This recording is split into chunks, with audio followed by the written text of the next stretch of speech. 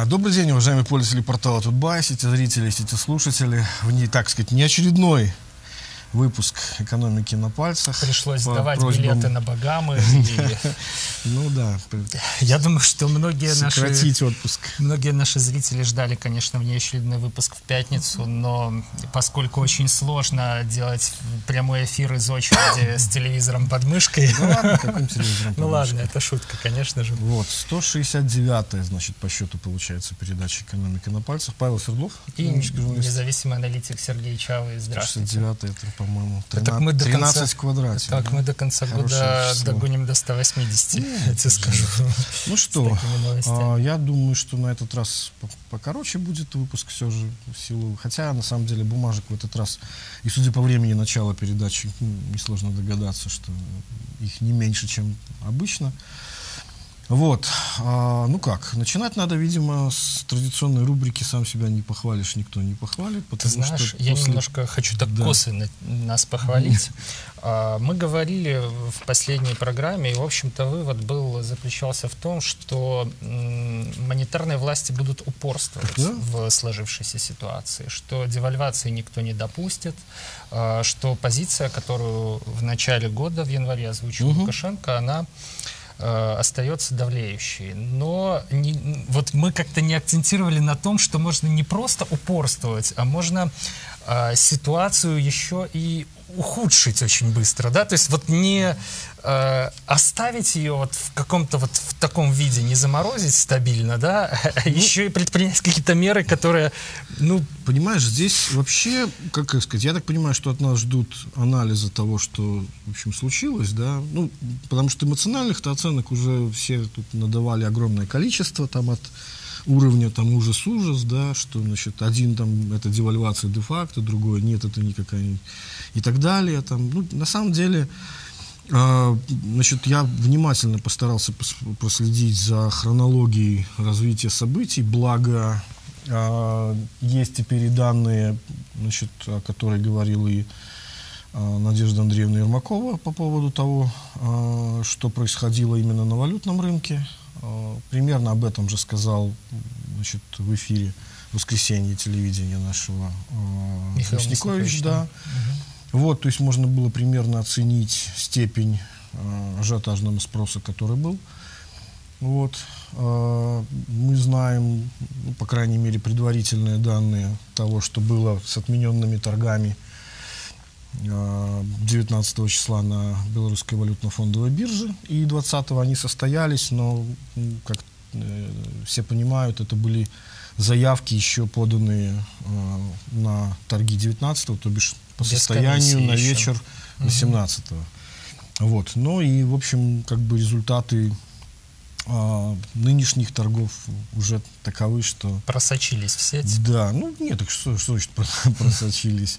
Вот, что, в общем, э, предварительное предложение было 79 э, миллионов предварительный спрос, Спрос. и 6,5 миллиона, то есть в 12 раз меньше предварительное предложение. Очевидно, что э, никто не торопится. Ну, с Э, учетом, продавать с валюту- учетом того, что 6 миллионов это ну, раз где-то эдак в 20 примерно меньше, чем Обычно, последние да. дни, да. Ну, в 5-10 точно. Ну, там, насколько я помню, к- за 100-180 были вот эти вот дни, значит, э, ажиотажа. Ну, там удовлетворяли, естественно, меньше, да. То есть, ну, Ну, то есть Вот, э, речь идет- никто не стремится... Сейчас, короче, речь идет о чем? Значит, так вот, по поводу, а, значит, этой самой хронологии. Для того, чтобы, ну, во-первых, мало кто ожидал, что, значит, э, ну, сказать, не то, что это случится так быстро, а то, что, в общем, э, то есть даже когда мы записывали, э, сказать, в эфире были по- последние передачи, там фактически уже эти все события происходили, судя по тому, что как раз э, в своем интервью рассказала э, глава Национального банка. То бишь получается, что описывая в четверг механизм передачи э, кризиса через вот этот вот психологический э, Эффект, да, российской. эффект заражения, да, такой, то вот на самом деле и ровненько он и сработал.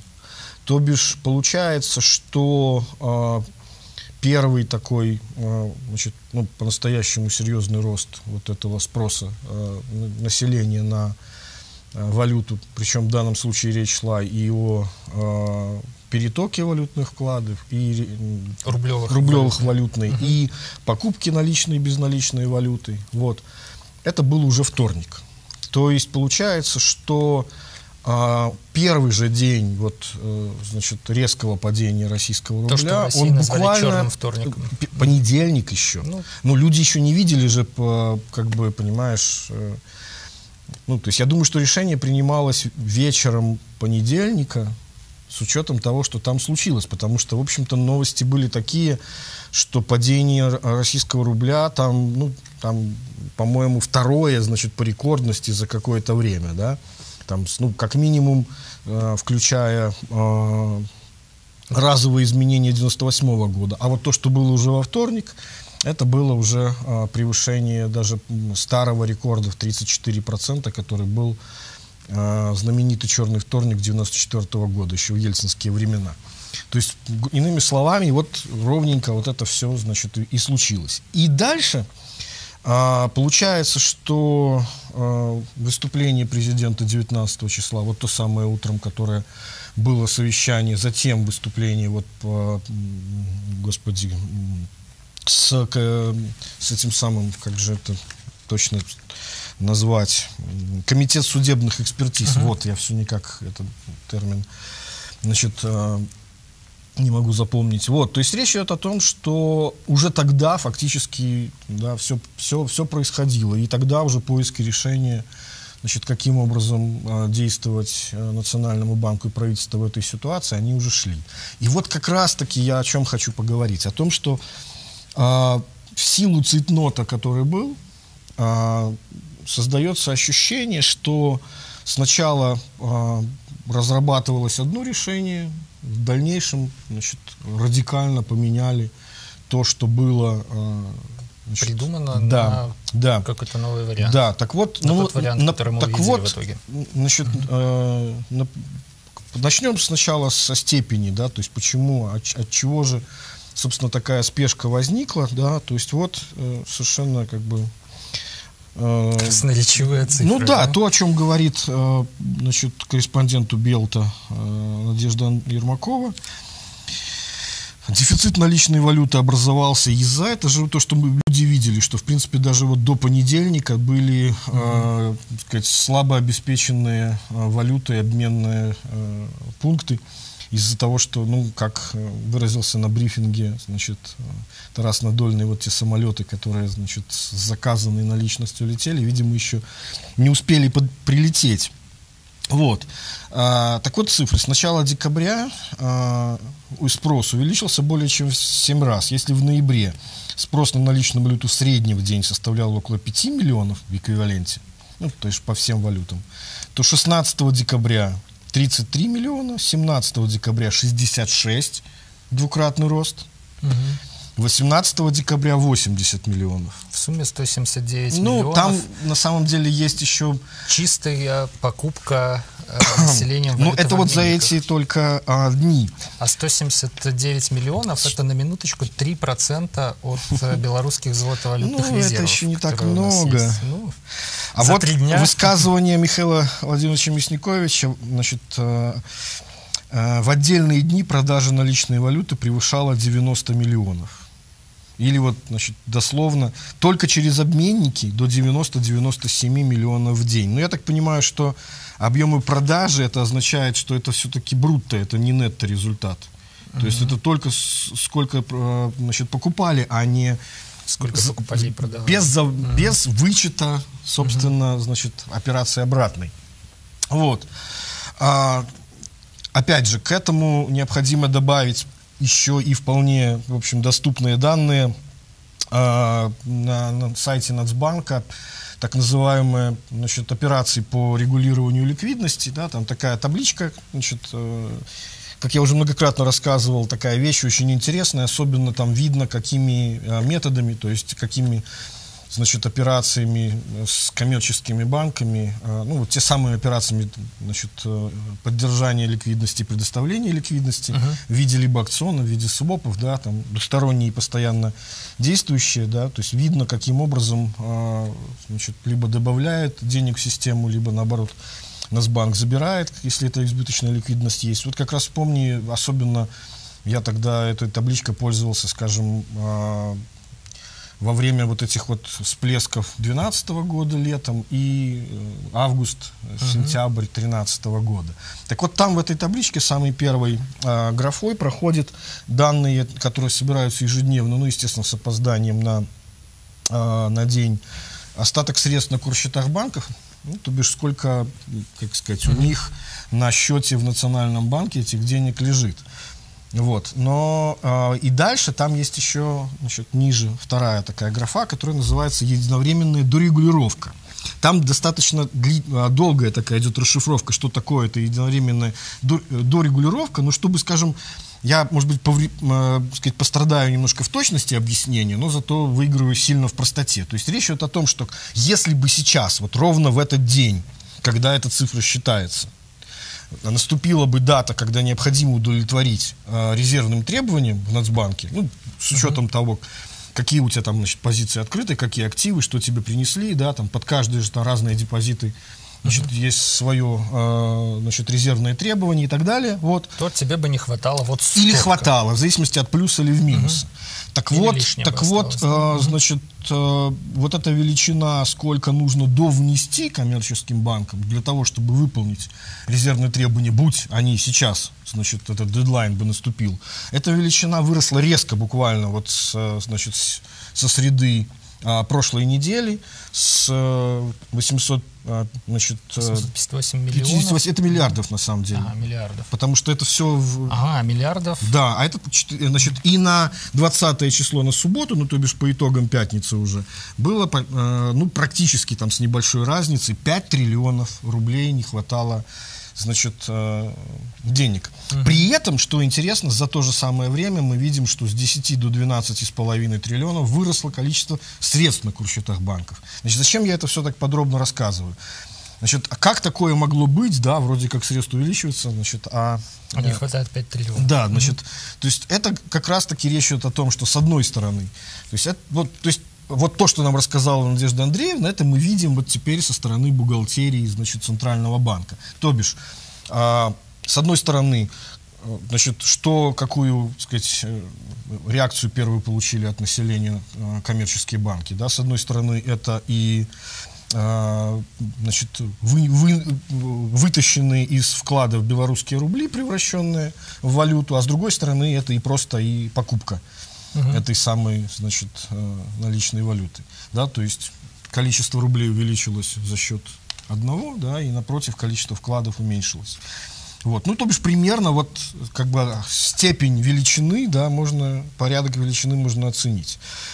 Вот, при том, что, значит, даже вот три дня, которые шли, то есть четверг еще полтора триллиона, два с половиной на один, и, наконец, с двух с половиной до пяти, двукратный рост за один день, да, то есть ситуация развивалась, в общем, как э, гиперболически. Прогрессии, да. Да, совершенно верно.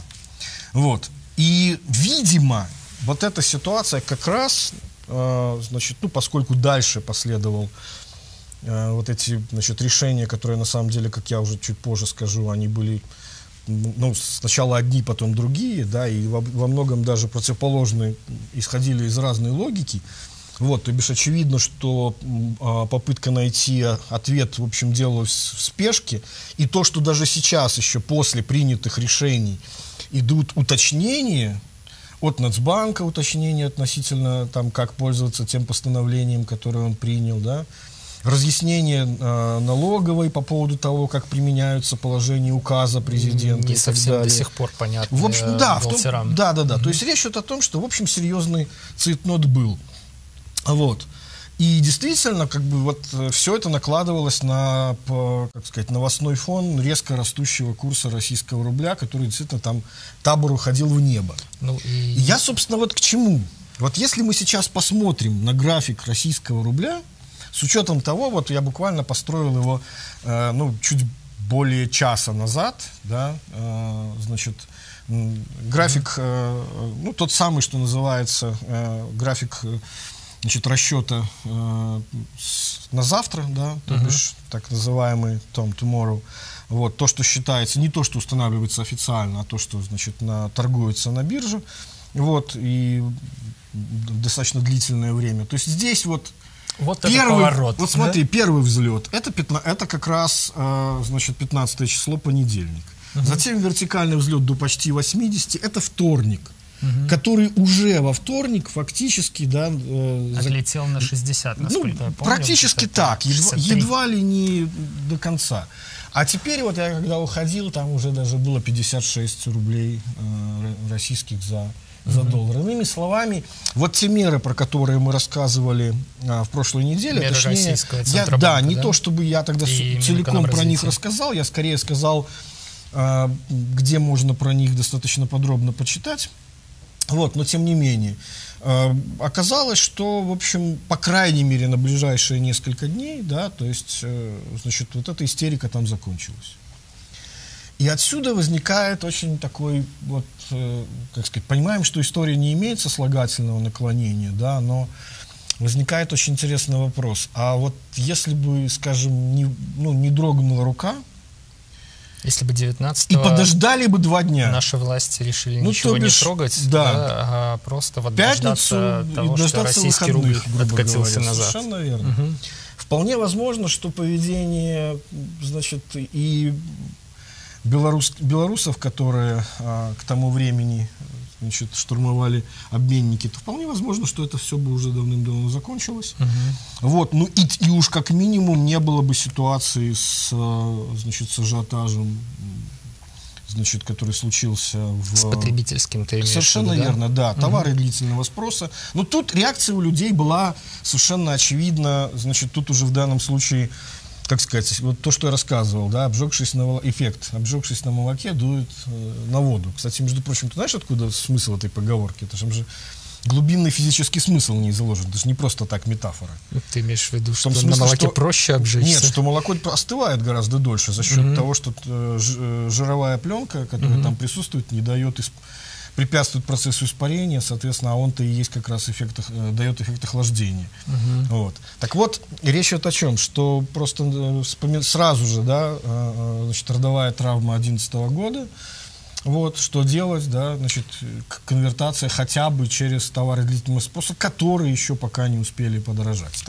Значит, теперь, собственно, о, о том, каковы же были решения и как действительно, вот мне кажется, что версия того, что происходило, значит, а, менялась. Для начала давай все-таки снова вернемся к а, высказываниям президента 19 19 правильно. 18 было, а, значит, совещание, день, когда... а 19 было угу. выступление перед комитетом угу. этих господи, судебных, судебных экспертиз. экспертиз. Что никак я не могу их. Вот.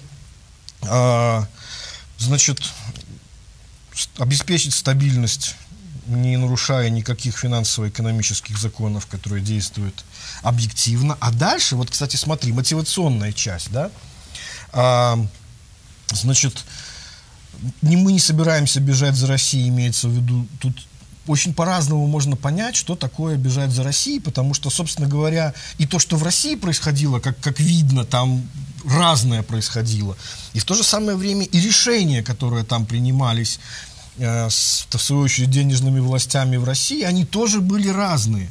То, то есть вот сначала попытка бороться значит, исключительно э, средствами Центрального банка путем повышения э, ключевой ставки, все хочется сказать учетный, вот, а потом вот такие, такой, значит, э, всеобъемлющий пакет э, помощи коммерческим банкам и фактически, как сказать, э, заявление о том, что э, ну, любой запрос, который возникнет у компаний по рефинансированию на момент вот даты, значит, октября, там, я не помню, 21, кажется, октября этого года возникших э, предыдущих валютных долгов, потому что, как я уже рассказывал, основная эта проблема, это Значит, не текущий счет, а капитальный счет. Необходимость возвращать большие долги, которые есть у корпоративного сектора, и невозможность эти долги рефинансировать на, на внешнем рынке, значит, и создает вот этот постоянный спрос, ну и фактически производит То есть, насколько капитала. я понимаю, золотовалютные резервы они решили пустить не на поддержку рубля, скорее, а на... Не на, ну, понимаешь... Стро... На то, чтобы поддержать Минуточку, комбанки значит, и коммерческий ну, сектор. Вот не этот. совсем так, потому что, строго говоря, ведь ну, если бы, смотри. И а, рубль от этого Нет, нет, смотри, потому что ведь на самом деле интервенции это в сущности и был механизм а, продажи ну, золотовалютных да. резервов этим Тем самым, же самым компаниям, да. да. Но Значит, одно дело, когда этот механизм проходит через э, биржу, совсем другое дело, когда этот механизм работает немножко по-другому. То есть там пообещали, что э, значит, любой выпуск, ну, в, в разумных пределах, да, как, как принято говорить, значит, валютных облигаций, которые э, значит, будут выпускаться этими э, корпорациями для рефинансирования своего внешнего долга, значит, он будет выкупаться, значит, но, правда, не за счет золотовалютных резервов, а предполагается, что это будут средства Минфина. Ну, потому mm-hmm. что вот этими резервными э, средствами, которые я называл, Значит, э, и фонд национального э, достояния, и просто резервный фонд, mm-hmm. Значит, они, ими распоряжается Минфин, ну, хотя они лежат на счете в Центробанке. Вот.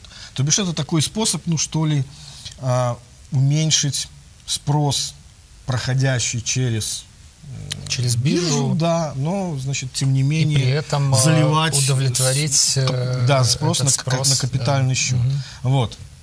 А, Интересно. Ну и плюс после э, совещания президента, которое, э, значит, Путина, которое было, э, виноват не совещание, да, вот это вот прям, как она, пресс-конференция, прямая линия. Угу. Ну, общение с журналистами, короче. Вот, такая, в общем, мало э, информативная вещь, за исключением того, что там Путин тоже дал, решил дать оценку того, что кризис продлится. То есть через два года будет как это, отскок в плюс, как он выразился, да, угу. вот. То есть это еще даже не факт, что кризис его представлений там завершится, хотя бы будет, значит, какая-то какая коррекция, да, вот. А, ну, потому что вообще термин отскок это исключительно биржевой термин, вот, и шутят же даже а, по, по поводу того, что есть такое выражение, абсолютно устоявшееся идиоматическое, отскок мертвой кошки, dead cat bounce том смысле, что даже мертвая кошка, сброшенная с достаточной высоты, значит, э, отскочит немножко. от асфальта, да. Mm. То есть в том смысле, что и бесконечное падение а, активов на финансовых рынках происходить не может, просто mm-hmm. в силу физических причин. Кстати, слово биржевое употребил и президент как раз на совещании 18 числа, характеризуя, да, то, mm-hmm. что ну, совещание по вопросам mm, а, экономики. Вот. А, характеризуя, собственно, там, там через запятую идет, не собираемся бежать вслед за Россией, категорически запрещено, потому что российский рынок, непонятно, что там происходит, кто чего что хочет, что будет, и волатильность российского рынка не поддается никакому осмыслению. Интересно, что, значит, Белта решила перевести для простых людей, mm-hmm. значит, они употребили слово колебание, но в видеозаписи там, значит, слово волатильность и интерфакс его приводит. То есть, а вот это вот что удивительно, то есть это, я еще раз говорю, это термин финансовый, значит, ну, иногда он еще используется, если не, не практиками финансов, то теоретиками финансов, то есть, э, значит, в уравнениях финансовых для расчета э, различных параметров риска и так далее. Вот, но тем не менее, то есть очевидно, что а, это слово появилось от разговора со специалистами по э, финансовым рынкам. И получается, что, то есть о чем идет речь? Значит, вот на э, рынке России штормит, наша задача переждать этот период. Угу. Тем или иным способом. То есть ты имеешь в виду, что вообще это а, послание со стороны президента, его заказ монетарным властям заключался все-таки в том, чтобы переждать, а не в том, чтобы каким-то образом ломать ситуацию через колено, ну, да? Не, даже так, понимаешь, тут различные... А что можно было сделать, об этом тоже поговорим, но основная идея какая? Что э, в России происходит непонятно что, и действительно мы видим, что значит, 20% рост, э, сменяющийся там 25%, там 30 виноват, 5% рост, меняющийся 25% падением, а там так реально где-то и получается, ну, с 80 до 60 это же есть. на четверть, да, за буквально... Ну, это же 25, да, а там было... Ну, все правильно. 25 сказал, процентов да, на четверть. Вот. А, то бишь, и, а, и, не понимая, какова более-менее, значит, фундаментальная обоснованная стоимость российского рубля, вот, в этой ситуации подвергаться таким же, значит, колебаниям а, сложно, и он даже объяснил, почему. А, вот, например, сейчас я найду Значит,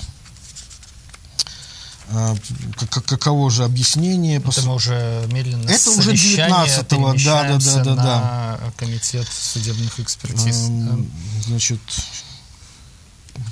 где же там было, это сейчас минуточку я постараюсь найти. Вот, а, про, про проценты. Значит, а, тут уже идет заказ на меры. Здесь идет фактически а, ну оценка что ли, оценка ситуации, ситуации и, да. как сказать, мотивирующая часть, то бишь наша задача, значит, не поддаться а, вот тем же так аналогичным же колебаниям, да, угу. или каким-то образом демпфировать, значит, на тот период, пока они там не успокоятся. Но опять же, как я уже сказал, анекдот явля... Э, в том, что они-то, видимо, в России, и я об этом еще буду говорить, воз... ну, сказать, успокоились, и, в общем, я бы даже с высокой степенью вероятности сказал, что в очень там обозримом будущем мы эти 80 рублей за доллар не, не увидим. Угу. Вот. И э, показать, кстати, там вот не успел еще в прошлой передаче, а уже на самом деле у меня третью передачу все один и тот же график, который я хочу показать, который будет э, показывать, э, ну что ли, такую, все-таки хоть какая-то же модель должна быть, примерно получить, сколько может стоить а, российский рубль, если, значит, вот закончится, вот, как сказать, а, ажиотаж. Угу. То бишь, какова была бы его фундаментальная стоимость, обусловленная вот тем, что есть сейчас, с учетом и капитального счета и так далее, да, за вычетом, вот, собственно говоря, спекулятивной составляющей, ну, которая возникает в панике, просто потому что люди покупают, потому что растет, а не потому что, как, например, в том же самом капитальном счете, просто вынуждены, да, потому что, значит, ну, это либо, это либо бегство капитала, либо просто возврат долгов. Вот. А, так вот, а, значит, пока вывод такой, что вполне вероятно, что там все более-менее закончилось. То есть получается, что не зная, сколько продлится эта ситуация, да, а, вот успели принять меры практически в тот самый момент, которые начали действовать, тогда, когда ну, с очень высокой степенью вероятности, а я бы, в общем, даже тут, ну, как сказать, не стеснялся говорить о том, что, вероятнее всего, действительно этот шторм закончился. В России? Да, да, да, да, да, на Россий, с российским рублем. Вот. И вот мы остались, значит... Слушай, ну, Сергей, ты понимаешь, одно дело в России шторм закончился, и это понимают где-то в России, а угу. другое дело а, тут в Беларуси разгоняется все, и, допустим, уже в России все закончилось, а у нас как бы люди еще не считают, что что-то закончилось, да? Вот. Ну вот тут-то как раз я же говорю, что Поэтому вполне много, возможно, много, много лет этой передачи уже я рассказывал о том, что самая важная как это, функция Центрального банка – это управление ожиданиями. Вот, так вот, я просто, просто к тому, что, э, ну, если не вопрос психологический, потому что и там же очевидно, что, значит, э, ну, как бы паника-то в России, мы видим, она завершилась. То есть она была два дня, и она, в общем, сошла на нет, да.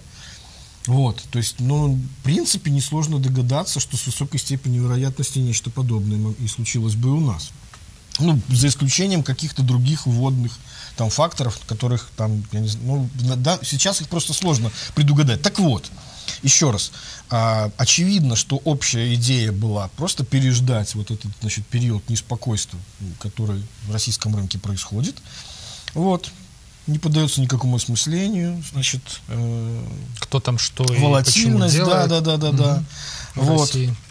значит, и вот, например, э, 19 числа уже идут высказывания о том, в каком направлении необходимо копать э, Нацбанку и Совмину для того, чтобы вот эту, эту задачу, как сказать, э, стратегическую, да, э, решить. Ну вот, например, такая цитата. «Вчера я поручил предусмотреть ряд мер вчера это имеется в виду, значит, человек, президент рассказывает о совещании, состоявшемся накануне.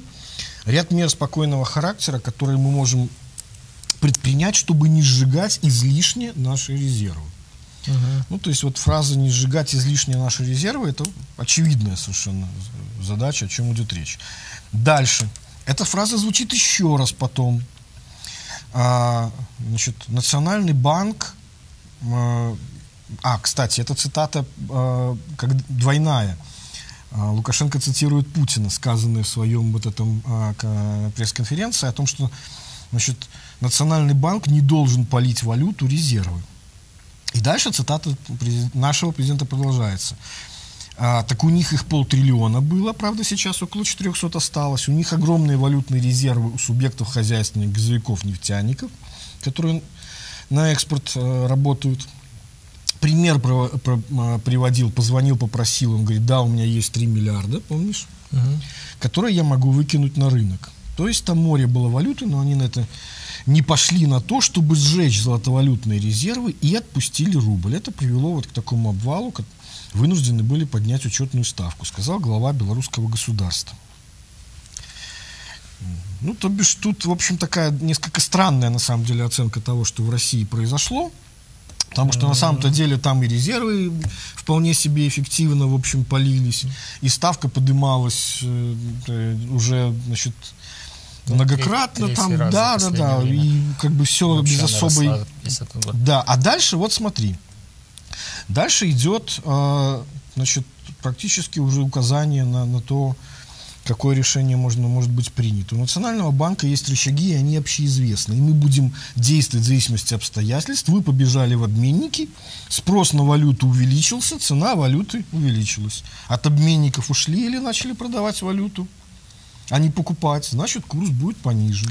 То Все инструменты известны, добавил президент. На твой взгляд, это санкция на то, чтобы немножко ускорить э, обесценивание это санкция, рубля? Нет, это скорее санкция на то, что, смотри, то есть если речь идет Темпы обесценивания рубля уже заданы денежно-кредитной политикой, понимаешь, угу. и параметрами 2014 года, и на 2015 год. То есть из каких-то соображений они исходили, и в данном случае то, что происходило в понедельник, вторник на российском валютном рынке, на это, несомненно, не влияло. То есть если, а, а видно, что, значит, э, как сказать, после разговора с финансистами президент употребляет слово волатильность, и непонятно, сколько, какова же фундаментальная стоимость российского рубля, это значит, что этот период воспринимался как период значит, ажиотажного спроса, за которым последует откат от этого спроса. Ровно это мы увидели на графике российского рубля. Значит, эта оценка была верна на самом деле, по, по сути своей. Соответственно, значит, есть некая вот долгосрочная тенденция, которую планирует вот постепенного ослабления к доллару, правда. Ну, мы угу. уже говорили, почему это не не самый оптимальный вариант. Вот. А все остальное, это, значит, вот степень, что ли, колебаний вокруг этого вот а, среднесрочного, долгосрочного тренда. ну хорошо, только как понимать эти слова? Вот э, Под... то, что ты процитировал только что. Э, можно я перелистну? Угу. Да? Э, то есть вы побежали в обменники, спрос на валюту увеличилась, цена валюты увеличилась, да? да? От обменников ушли, начали продавать валюту, значит, курс будет понижен. То да. есть, ну, есть же санкция на то, чтобы чуть-чуть увеличить, потом, может быть, чуть-чуть Так вот об этом речь идет. Я и хочу сказать, что... В рамках долгосрочного тренда. Еще раз говорю, правильные слова – это увеличить колебания, вот ту же самую вот волатильность по сравнению со всем ставшей нулевой, когда у нас 10 там рублей, значит, каждый раз, э, да, там, в день там или ну, не то есть, каждый условно даже говоря, российский рубль, он вот колеблется сильно, а у нас мы колебания... Если, будут, если, если предположить, да. что такого же там уровня, значит, спрос сегодня повыше, значит, как значит, в России говорю, Значит, обратно... растем на 50 рублей. Если потом э, люди Абсолютно пошли сдавать, точно. значит, да, падаем вот на 40 именно. рублей. То есть, такого, иными да, словами, у них колебания по 30%, по 20%, у нас вместо этого колебания там в пределах, процент, скажем, 10, ну, угу. процента-то ну, явно нет. Да, да, да. Вот пол, о чем идет речь. Максимум, там, И да? именно угу. об этом а, как бы речь идет, потому ну, что, да, смотри, читаем, а, читаем дальше скажем, э, так, так, так, так, так. Чуть дальше. Там... Сейчас, подожди, подожди, подожди. Значит, там еще была речь о просто очень много этих э, вот, кусков в Значит, так, ну так, да, так. все наговорили огромное количество Так вот. цитат. Ам, значит,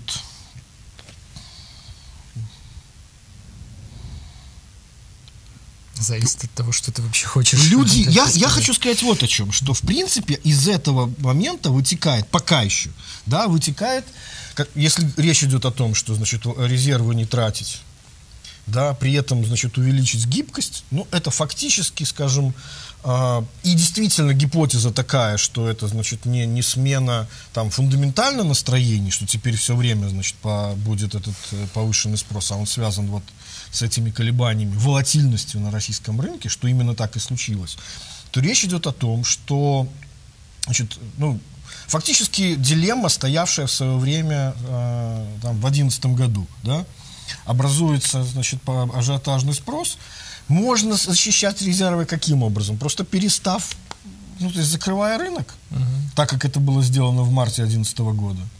Либо, значит, введя, ну, так, это мы берем совершенно крайние случаи, то есть вот чем хорош, э, значит, э, модельный случай 2011 года, потому что там, ну, вот, как сказать, э, две абсолютно стороны одной медали. Понятно, что между этими полюсами значит, где-то политика может находиться. То есть либо полностью закрыть рынок, и тогда он начинает работать так, как в марте он работал в режиме нулевого сальда. Сколько люди принесли в обменники, столько, значит, имеют возможность оттуда и купить, и не больше.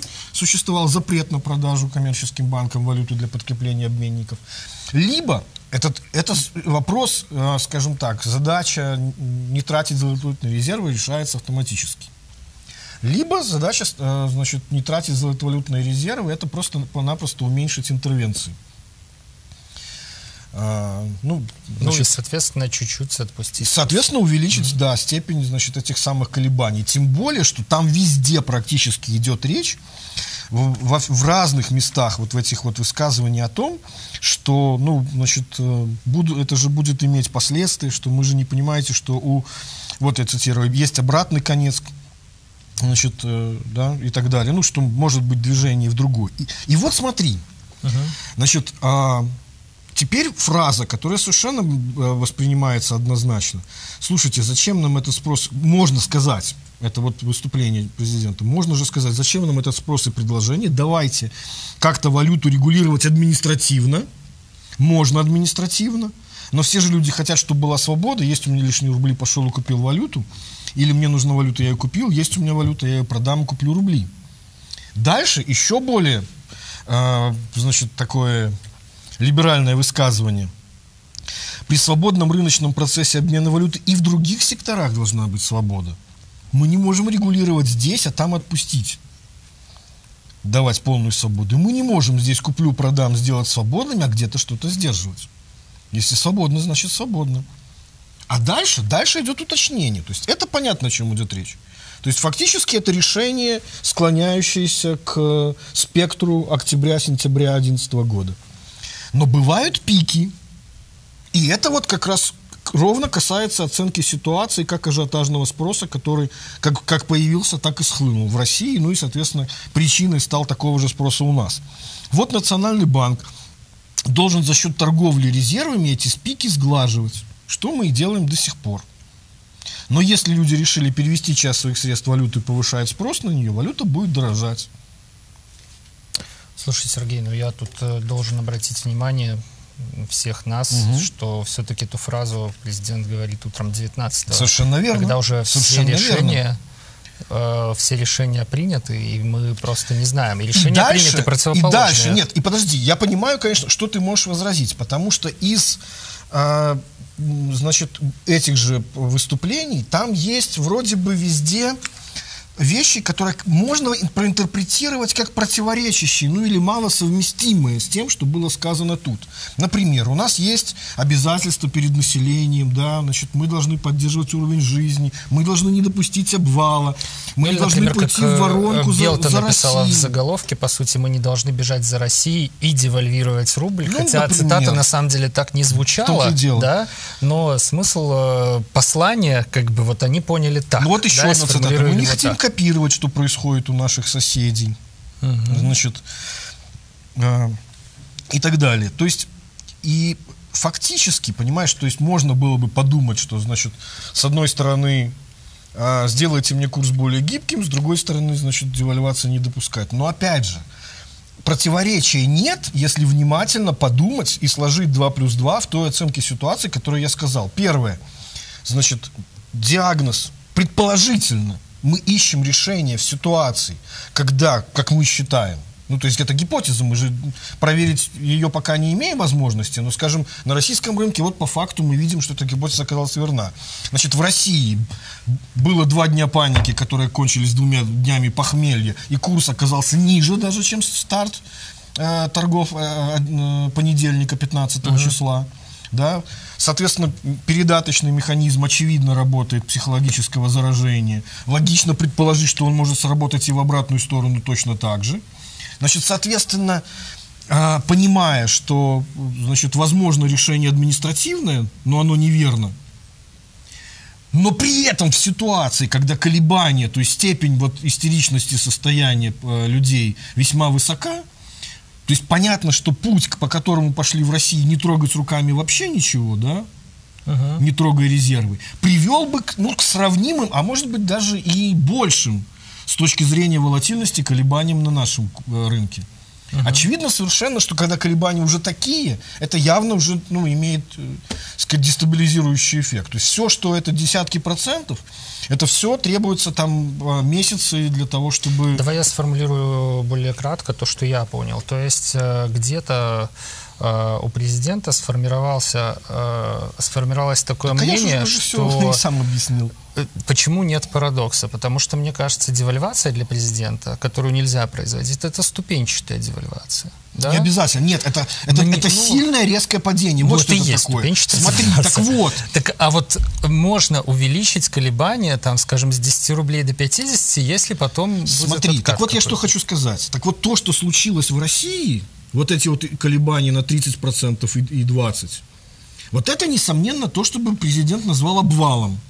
Даже несмотря на то, что потом этот курс вернулся. Uh-huh. По факту нетто-результат нулевой. Но is done, понимаешь, уже как бы по, сказать, ущерб нанесен. Uh-huh. И вот речь идет именно об этом.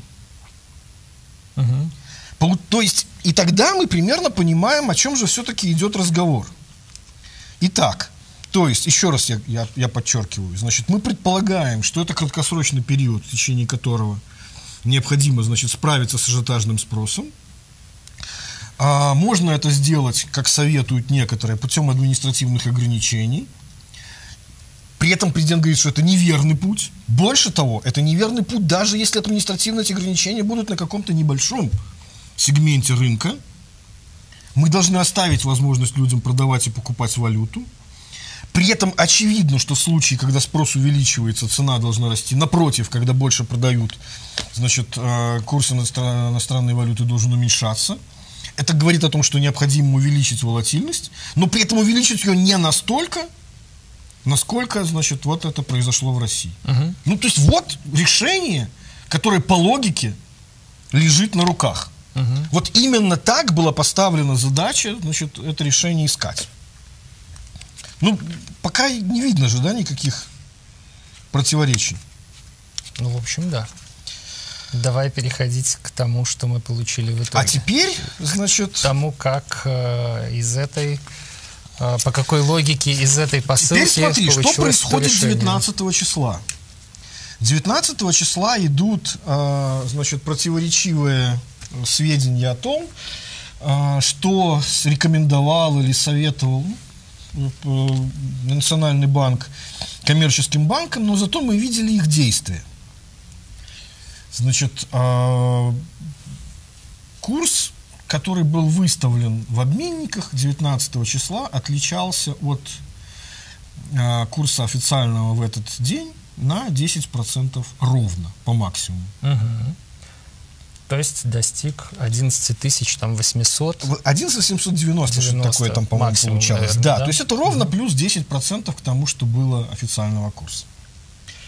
А, ну, предположительно, опять же, то есть не, нельзя тут утверждать точностью, что именно такова рекомендация и была. То бишь увеличить вот эту разницу до 10%, И при этом, а, что удивительно, значит, а, рекомендация была и постараться, значит, а, как сказать, не свои обменники не, не, не подкреплять. То есть уже пошли сразу конфликтующие сигналы. Угу. С одной стороны, значит, рекомендуют банкам а, на одном из сегментов рынка. То есть о чем же идет речь? Плюс 10% это же только наличный курс. Очевидно совершенно, ну, торги остановлены, но официальный курс остался там же. Да, то есть мы получаем на, на двух сегментах уже разницу 10% угу. одного с другим. И это позволяется, либо даже напрямую рекомендуется сделать Национальным банком, потому что никаких, значит, э, санкций, окриков за это не было. Вот. То есть, с одной стороны, это напоминает попытку решить вопрос, значит, ступенчатым контролируемым изменением, хотя бы на одном сегменте, там, где, собственно, этот ажиотаж и возник. Вот. А с другой стороны, а, ну вот опять же это решение 16 марта 2011 года, да, попытка сделать угу. нулевое, э, значит, сальдо по покупке и продаже. Как мы помним, по истории 2011 года ни то, ни другое решение, ведь там пробовали и так. И 20, дай бог памяти, по-моему, 5 мая 2011 э, года это была попытка, значит, ступенькой постараться, значит, приблизиться ну, к тому, что э, э казалось тогда, значит, курсом... Математически выверенным, Совершенно верно, да. Курсом, С да. одной стороны, а с другой стороны и работало это все э, длительное время вот в том самом режиме нулевого сальда. И, как мы знаем по истории 2011 года, в конечном счете от этих мер пришлось отказаться. Ну, так, конечно, мне кажется, что вот это вот увеличение курса на чуть-чуть, да, в обменниках, это просто для людей как красная тряпка. То есть э, вот э, вчера был курс, э, там, не знаю, условно говоря, плясал от 10 890, а сегодня он вдруг 11 890 в обменнике. Нет, ну слушай, ну я, была же история, мы же об этом уже обсуждали, 9 года, где вполне вот там был 20-процентный скачок, и в принципе, который, в общем, ни к чему, значит, там... Никакой паники Абсолютно. Не привел. Да, совершенно верно. Хотя, хотя, хотя, умнее. хотя там были, хотя там тоже же были случаи, по-моему, вот, ну, тогда уже анекдотические, когда люди думали о том, что после этого, а, значит, там не удастся удержать эти 20% и так далее. И, были, и была как раз аналогичная ситуация с потребительским рынком. Угу. Некоторое время было. А потом, правда, буквально через несколько дней там люди начали чуть ли не пытаться в магазины э, лишние телевизоры, которые купили, э, приносить. Ты знаешь, Сергей, мне угу. кажется, что принципиальная разница между вот этой мерой в там, девятом или одиннадцатом году и тем, что произошло сегодня, угу. заключается в том, что люди э, почувствовали-то э, первые сигналы, не придя в обменники, да, угу. что тут вдруг курс угу. подорожал. А люди посмотрели, по каким курсам им переводят э, безналичные рубли в безналичную валюту. Да, люди посмотрели, что с карточек нельзя э, это совершить чуть позже, Это чуть позже. А я, например, увидел сначала эти сигналы, угу. да, и вот смотри, тут получается, мы не можем пользоваться карточками, да, так как мы привыкли пользоваться. Мы видим курс там в 20 тысяч э, на покупку доллара установленный, по-моему, по-моему, Белсвисбанк поставил, mm-hmm. да, значит, то есть продажа 10, э, там, 800, 11, ну, а это, покупка 20, да? Да, это, конечно, вот. удивительно. А, мы вот видим вот эти вот вещи, да, и потом мы идем в обменники и видим, что там курс был 11300, там 11400, стал вдруг 11900, угу. да? То есть мы видим... Но это в любом случае не 20. Это не 20, но это обменники. Ну, да. То есть так мы, и там же тоже обменники. Понимаешь, в чем прикол? Мы видим, что по всем фронтам идет какой-то вот, ну... Ну да, происходит что-то, что-то странное Странное неприятное давление, да, да, да, то, что мы не понимаем, да, и ну, мы, естественно, ждем чего-то большего. Нет, ну как обычно, чего человек боится? Неизвестности и боится. Так вот, и вот, собственно, 19 числа происходит, значит, э, решение правительства и Нацбанка, как называется, по недопущению развития негативных тенденций на финансовом рынке, официальное его название. Там шесть мер сразу значит, предлагается. Ну, самое очевидное, значит, с которого э, значит, все начинается, это Точнее, он идет третьим из этих шести, но это, конечно, гораздо а, более важная вещь. С учетом возросшего спроса на иностранную валюту, на внутреннем валютном рынке принято решение о временном введении 30% сбора при покупке валюты юридическими и физическими лицами. Пока это еще сбор для всех. Угу. Предприятия и банки будут уплачивать данный сбор при покупке валюты на бирже, а граждане в виде комиссии при покупке в банке. Уплаченные средства будут направляться в бюджет. Это первое, самое важное решение. Дальше... Но при этом смотри, приведено не первым. Нет, минуточку. Да, оно идет третьим по пункту. Но, но, но, но, но, но. А после этого идет еще такое важное уточнение, про которое почему-то значит, снова все забывают. Подходы к курсообразованию на внутреннем валютном рынке останутся неизменными. Угу. Ну, что такое подходы к курсообразованию? Это значит, э, в таком же режиме работают обменники, в таком же режиме а, работает Белорусская валютно-фондовая биржа. Ну, которая на следующий день, как мы знаем, после э, этих решений и была открыта. Вот. Ну, единственное, что вводится, как мы понимаем, эти 30%, что по факту означает, что мы получили, на самом деле, тут даже, как сказать, э, сколько было различных там метафор, но в действительности это попросту означает, что спред между покупкой и продажей увеличился угу. до, на 30%. Вот ну, о чем идет речь. Это очень классная ситуация вообще, конечно. При том, а ну то есть, а что такое увеличение спреда на какой-либо актив до 30, там, на, на 30%? Ну, это, строго говоря, на любом нормальном рынке этот актив считался бы уже неликвидом. Ну, потому что невозможно, как сказать, э, им оперировать, да, если только ты там не вынужден э, его продавать там или покупать по каким-то вне, значит, рыночным соображениям. Ну, как в данном случае это вещи не связанные с финансовым или валютным рынком, а связанные, например, с производственным процессом там импортера или экспортера. Вот. Ну, а во всех остальных случаях это особого смысла не имеет. Значит, о, о том, что, что такое вот этот вот плюс 30%, мы поговорим гораздо подробнее еще, mm-hmm. но пока. Значит, а, повышение до 50% в годовых процентных ставках по, ну, тех самых настоящих, не ставки рефинансирования. Как я уже много раз говорил, у нас ставка рефинансирования имеет больше фискальный характер, на нее там штрафы, сборы там, и прочее завязаны. Основное это э, то, что определяет стоимость денег, это все-таки э, вот эти вот ставки предоставления и изъятия ликвидности, внутри которых это э, ну, Нацбанк четенько так и написал. Это приведет к пропорциональному повышению ставок. Ставки. Но, обрати внимание, в этом пресс-релизе Нацбанк говорит о том, что при, э, приведет к э, увеличению ставок только по депозитам. Он так угу. больше ничего не сказал. То есть до 50% годовых. Ну, с 24. Это на самом деле очень не слабое ну, да, повышение. Да, да, да. Вот. То есть что имеется в виду? Это фактически действия, ну, аналогичные тем вот тому резкому повышению процентных ставок, которое, э, как сказал президент, пришлось повышать процентные ставки, значит, э, в России, да, чтобы курс uh удерживать. И, в принципе, это ровно те же действия, которые предпринимал, э, значит, наш Нацбанк в в ситуациях мини таких вот валютных паник, которые были летом 12 и конца лета, начала осени 13 года. Там до 60 там, значит, uh-huh. Доходило. Вот.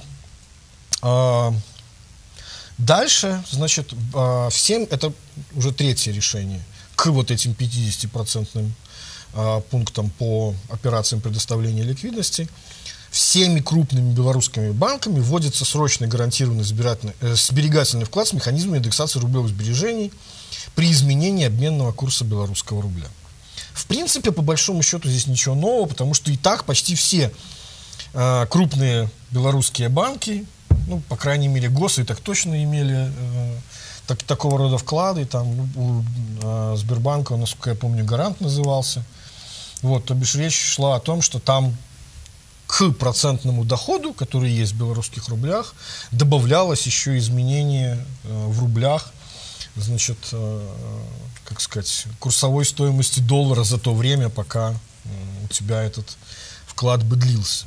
Но опять же, что здесь принципиально важно, что это исключительно э, белорусский вклад. То есть ты кладешь рубли, ты получаешь рубли, угу. тебе насчитываются рубли. Но при есть... этом, если курс рубля изменяется, то да, конечно. индексируется. Да, да, да, да, да. Ну, кстати, это э... некий такой вот аналог в свое время, то есть по на ну, форуме просили объяснить. Кто-то нет, просто многие, такое. многие в свое время, когда их вводили, еще над ними смеялись, мол, что же это такое. Но это в принципе как э, как вам объяснить, как вот есть такое понятие, как э, ETF, например, угу. да, некий такой траст, значит, который, э, ну, например, значит, вы получаете от какого-то, неважно, это будет фонд, банк или так далее, так как это сделано, значит, на, на западных рынках, некий актив, стоимость которого привязана, например, к биржевой стоимости какого-либо актива. Причем это может быть все что угодно.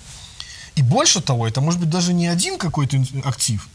То есть это может быть и нефть, это может быть и металлы. Кстати, в России вводили аналог, это были так называемые обезличенные металлические счета. Помнишь, они именно mm-hmm. так и назывались. Ну, я, конечно, не помню. То есть ладно. это было буквально несколько вот лет назад, когда еще э, была большая паника по поводу того, что золото, значит, там улетает в небеса, помнишь, mm-hmm. там ужас-ужас, там за 2000 там и так далее. С тех пор золото давно уже, в общем, в нисходящем тренде находится. Про эту панику уже все давным-давно забыли, но тогда просто а, э, альтернатива у тебя какая? Либо ты покупаешь эти слитки или монеты коллекционные, на которых спреды огромные, либо для тебя банк предлагает инструмент, индексируемый по стоимости золота. А дальше уже что делает сам этот Насбанк, э, э, коммерческий банк или там, если это фонд какой-то, который этими вещами занимается. Особенно интересно, что, скажем, на Западе это может быть, как я уже сказал, даже не один актив, а это может быть нечто очень сильно диверсифицированное.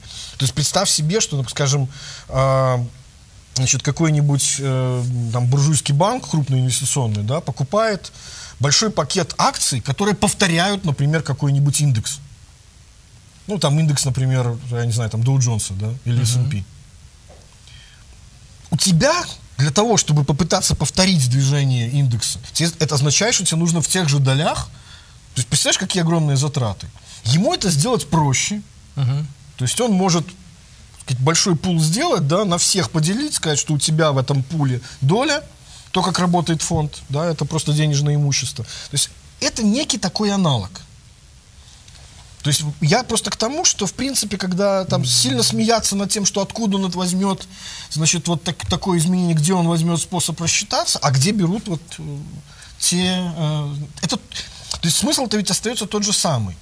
Э, это целиком финансовый инструмент, обязательства возникают у вас, у того, кто для вас его делает. Еще раз говорю, на Западе это даже могут быть не банки. То есть там э, вплоть до того, что, а поскольку это не банк, то там нет защиты вклада а, агентством страхования, да, там до какого-то предела, а у нас так, и они вообще до бесконечности защищены, да, причем еще и в валюте вклада. То есть это, в принципе, инструмент понятный работающий. То есть это вот некий такой аналог ETF, да, там Exchange Trade Fund, привязанный в данном случае вот к стоимости а, а, значит, доллара там, или к чему там угодно, ну, в долларах в данном случае, вот, в белорусских рублях.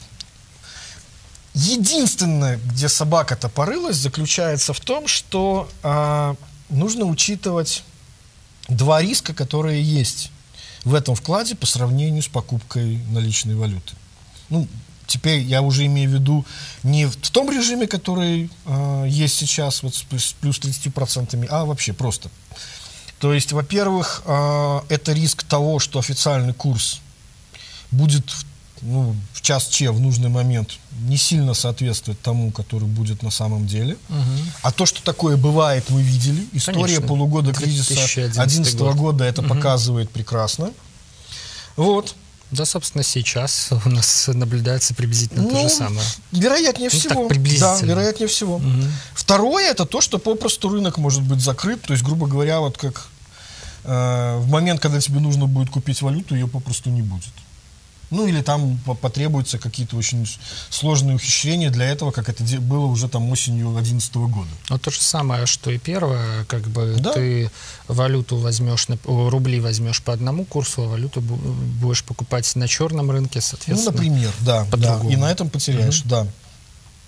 Значит, четвертый э, инструмент – это увеличение нормы обязательной продажи поступающей в страну валютной выручки. До 50%.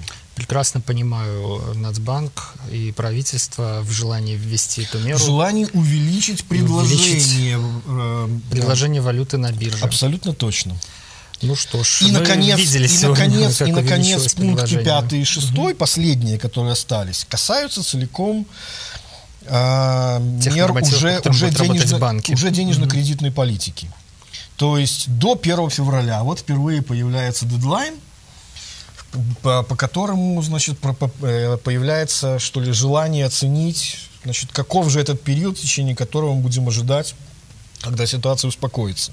До 1 февраля 2015 года не допускать рекомендовано коммерческим банкам, ну, рекомендации в наших условиях, сам понимаешь, что означает, наращивание кредитного портфеля в белорусских рублях и не осуществлять изменения валюты денежных обязательств заемщиков по кредитным договорам.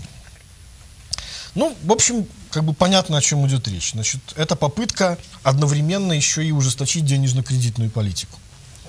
Хотя, э, ну так оно подается, хотя тут можно понимать это как ситуация такая, что э, ведь ну, люди, рассчитывающие на то, что белорусский рубль будет ослабляться, значит, тем самым ну, выгодным становится поведение иметь пассивы в слабеющем активе. Да? То бишь взять и начать кредитоваться в этих ну самых да, тут мы рублях. возьмем и запретим. Ну, то бишь, тут имеется в виду еще и это. Слушай. И, а, наконец, последнее, извини, да, это... Э, давай. Вводя такую меру, Нацбанк э, сам-то не предполагает, э, что в будущем рубль начнет ослабляться. И, соответственно, в случае, если найдется много умных таких вот, которые сейчас побегут брать рублевые кредиты, то они бы выиграли, а что бы они не выиграли, соответственно, мы просто возьмем и запретим давать им кредит. К, к сожалению, так, да, это может быть так проинтерпретировано. Ну, вот. Я, например, однозначно это... И, и наконец, еще понимаю. шестое, это то, что, значит, э, ну, то, что называется сложным языком неприменение к банкам мер надзорного реагирования за, значит, несоблюдение требований постановление, там, где ограничен проц, э, размер процентной ставки. То есть это вот с апреля существующая, значит, э, угу. у нас, но существующая, правда, до января эта практика. То есть это же было тоже вводилось как временная мера до, до конца года. То есть, когда э, ставка по новым кредитам не должна превышать среднюю ставку, образовавшуюся на следующем, предыдущем месяце. Угу. Вот. И вот теперь-то, если мы сложим пункт 2 и плюс пункт 6, о том, что повышены э, значит, процентные ставки до 50%, да. процентов, то угу. это означает, что они будут повышены и по кредитам естественным образом тоже, ну потому что... Ну, точнее, за то, что банк будет повышать ставку по кредитам, для него не будет э, никаких ну, санкций. Ну, оказаться ну, в ситуации, когда у тебя пассивы становятся дороже до 50%, угу. а при этом активы, то бишь кредиты, которые ты можешь выдавать, ограничены вот теми же самыми, там, вблизи 30 там, с, э, значит, процентов, угу. ну, понятно, что значит, это просто... Не пожелал при, бы. При, да, приглашение, значит, заниматься операциями, которые приносят тебе чисто финансовый убыток. Угу. Вот. А, Национальный банк это понял и позволил так, в общем, по сути дела, по, по поступить к а, коммерческим банкам, в отличие, как ты уже понимаешь, от э, Министерства торговли примерно в аналогичной ситуации. Я скажу так, что это была одна из тех вещей, связанных с этим указом, которые угу. были поняты еще до его опубликования. А вот, ну, это не указ, да, это да, постановление, да, да. так? А некоторые вещи выяснялись по ходу, и о них уже чиновники договаривали, и Мясникович, и министр торговли договаривали mm-hmm. прям вечером в воскресенье, например, mm-hmm. да, хотя, конечно, вечер воскресенья это не самое подходящее время в нормальной ситуации для каких-то публичных выступлений чиновников. Вот, например, брифинг, который произошел 19 числа, где был, значит, э, Александр Заборовский, это глава аппарата Совмина, и э, Тарас Надольный, Э, первый зампред угу. правления Национального банка. Вот, вот фразы, которые звучат там. Угу. Значит, э, решительные меры для чего? Чтобы все участники валютного рынка понимали, что спада курса белорусского рубля в пике под действием ажиотажного спроса допущено не будет. Соответствует это тем э, пожеланиям, которые президент сказал? Конечно. Пока да. Мы понимаем, что ажиотажный спрос на валюту спровоцирован ожиданиями из-за резкого падения курса нашего основного торгового партнера. Я Логично? Сказал, это в принципе вообще то же самое. Абсолютно, что, говорил, что президент. говорил президент. Равновесный курс российского рубля до сих пор не определен. Абсолютно, да, про волатильность. И за ним в эту неопределенность белорусский рубль не пойдет. Логично? А дальше Значит, э, валютный рынок, как и любой другой, подчиняется законам спроса и предложения. Наша политика резко снизить спрос на валюту и увеличить ее предложение. Снизить спрос за счет введения комиссии, увеличить за счет э, Введение обязательных 50% да, валютной выручки. Да. Ну, выглядит неплохо. В теории. Да, в теории. В теории. На практике пока что плоховато Да. выглядит, конечно. Значит, и дальше, наконец, появля... начинают появляться вот эти самые решения, которые показывают, что, в общем, ну, в спешке, в спешке все это делалось, вплоть до того, что, ну, весьма на коленке. Кстати, оттуда же начинают появляться из-за того, что решение принято именно таким образом, мы пока еще его не оценим, я пока только о, о побочных, что ли, очевидных первых же эффектах. Ну, одно дело, когда ты говорил, когда коммерческие банки поставили по безналичным а, конвертационным операциям там до 20 тысяч курс внутренний. Хотя, кстати говоря, это было нарушением рекомендаций Национального банка обеспечивать курс карточкам валютообменных операций по, по- по безналичным. Да, чем, чем, то есть внутри спреды ставить тех, которые существуют в, в обменниках для, для физических купюр. Вот. Но анекдот э, является в том, что разъяснение, которое дает Национальный банк о том, что это 30% сбор для физических лиц, он распространяется в том числе и на операции, когда ты либо снимаешь, э, значит, валюту из банкомата с рублевой карточки, либо рублевой карточкой совершаешь валютный перевод, либо платеж э, в адрес третьих лиц, ну, то есть, грубо говоря, все, что угодно Все, что пытаешься конвертирует рубли в, в да, да, валюту, да, естественно, там же возникает э, значит, валютообменная операция по курсу того банка, который у тебя это все значит, э, обслуживает. Значит, там тоже должна насчитываться 30% эта комиссия. И тут внезапно выясняется, что тот софт коммерческих банков, который обслуживает такие операции, ну, представляешь, сколько их, какое количество, значит, в реальном времени по- Конечно, совершается. представляю, ведь Нацбанк последние несколько лет активно проводит политику. Ну и да, так вот, и вдруг оказывается, доли что нет у них расчетов. такой возможности это сделать в автоматическом режиме. Отсюда, значит, ко, ко всем банкам, включая мой, приходит уведомление о том, что, извините, мы такие операции приостанавливаем. Мгм. Попросту потому, что не можем вот эти бухгалтерскую операцию провести. Дальше появляются, значит, такие забавные комментарии, когда журналисты начинают спрашивать у а, значит, коммерческих банков, мол, а когда же, собственно, вы это сможете сделать? Вот, это вот, значит, на, на интерфаксе. Вот, ну, реальный срок, ну, там, не знаем, когда, в общем, либо, за- значит, ограничения будут сняты, или необходимое ПО будет разработано. Отметил собеседник агентства. И при этом, значит, он говорит, что, ну, как бы, вот мы ж не знаем, когда там российский рынок придет к равновесию. Вот. Возможно, что эти меры даже продлятся дольше, чем 1 февраля, может быть, они продлятся минимум полгода, но когда человек говорит о том, что что-то случится раньше, то есть это означает, что они вполне, ну, то есть как это интерпретировать, что они готовы разрабатывать этот софт по полгода? То есть люди просто оказываются лишены возможности вообще проводить такие операции. Представь себе ситуацию людей, оказавшихся в этот момент за границей, у которых попросту заблокированы, э, ну, такая возможность. Ну да, я бы это... Собственно, я в такой ситуации оказался равнехонько Голосуй. 20 числа. Голосуй поэтому в нашем э, опросе за то, что тебя накрыло. Так вот, к, к вопросу. И помнишь, как-то пред- пред- предполагалось считать, типа, выиграл или не выиграл? Значит, э, я как раз буквально еще на прошлой передаче хотел сказать, что, возможно, даже и проиграл. Из-за чего? Из-за того, что мне нужно было оплатить подписку годовую там на ведомости. Значит, вот таким вот способом. А там была интересная ситуация. Значит, поскольку э, там они в рублях выставляют стоимость, значит, этой подписки, но она, очевидно, у них как-то там привязана к каким-то валютным вещам, вот, то там, э, значит, предлагалась 50% скидка. Когда курс рубля, значит, упал еще сильнее, там уже была 40% скидка, но от, естественно, другой величины. То есть и в момент, когда... Ну, там смысл просто такой, что это, как сказать, продление подписки идет автоматически, если ты этого не сделаешь сам. Вот, то бишь дата, в общем, как бы тут и не сильно поиграешь. И это получилось еще не тогда, когда курс рубля был самый низкий. Ну, буквально вот за несколько дней. И мне казалось, ну вот я мог бы там еще 20-30% выиграть. Теперь я понимаю, что вероятнее всего, да, даже с учетом, ну, э, если бы работала эта, э, значит, вещь, вот эти плюс 30%, конечно, значит, ни к чему хорошему бы не привели. Да, так вот. Теперь два документа, которые, собственно, у нас есть, и которые это дело регламентируют, и которые говорят о том, что, похоже, там ой, все делалось в довольно серьезной спешке. Значит, вот указ 607, которым это все регулируется.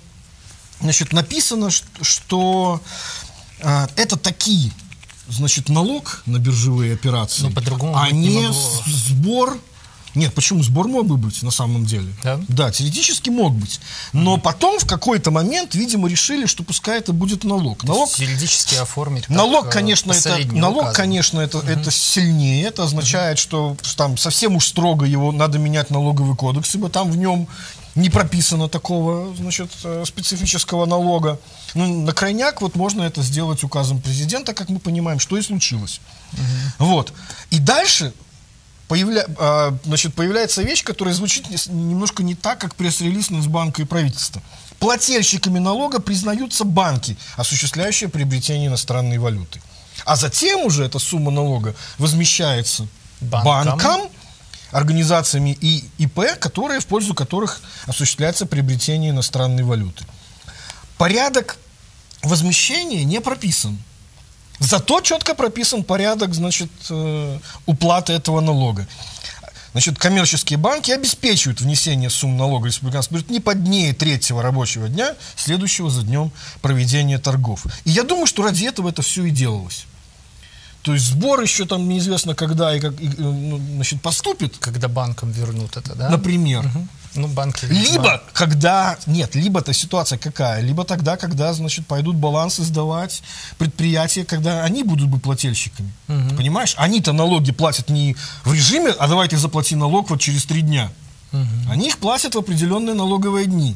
А, я понял, о чем ты Если говоришь. бы плательщиком было Почему предприятие, а банк, банк был бы платеж, а банк был бы налоговым агентом, то тогда это было бы поступление раз в месяц.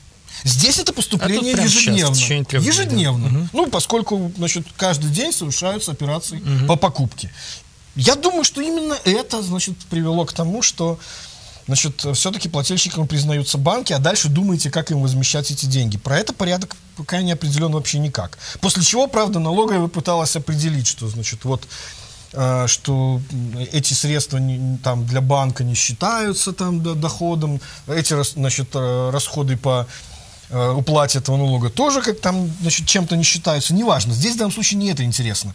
А то, что, смотри, пункт 2.5 коммерческие банки с учетом ля-ля-ля, вот где обеспечивают внесение сумм налога, осуществляют контроль за правильностью исчисления налога.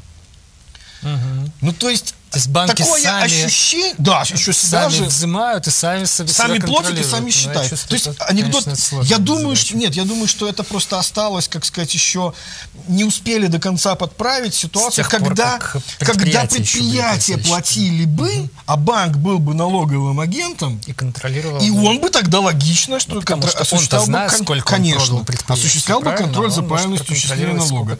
А получился физический смысл такой, что на тебя же накладывают обязательства проконтролировать, сколько ты должен, значит, заплатить сам. Вот. И дальше, дальше, значит, появляется еще одна интересная вещь. Но у нас же не бывает так, чтобы для всех было все одинаково. У нас появляются те, для кого нога, у кого надо нога. Значит, во-первых, перечень товаров, за расчеты, э, для расчетов, за которые приобретение валюты не облагается этим налогом 30%.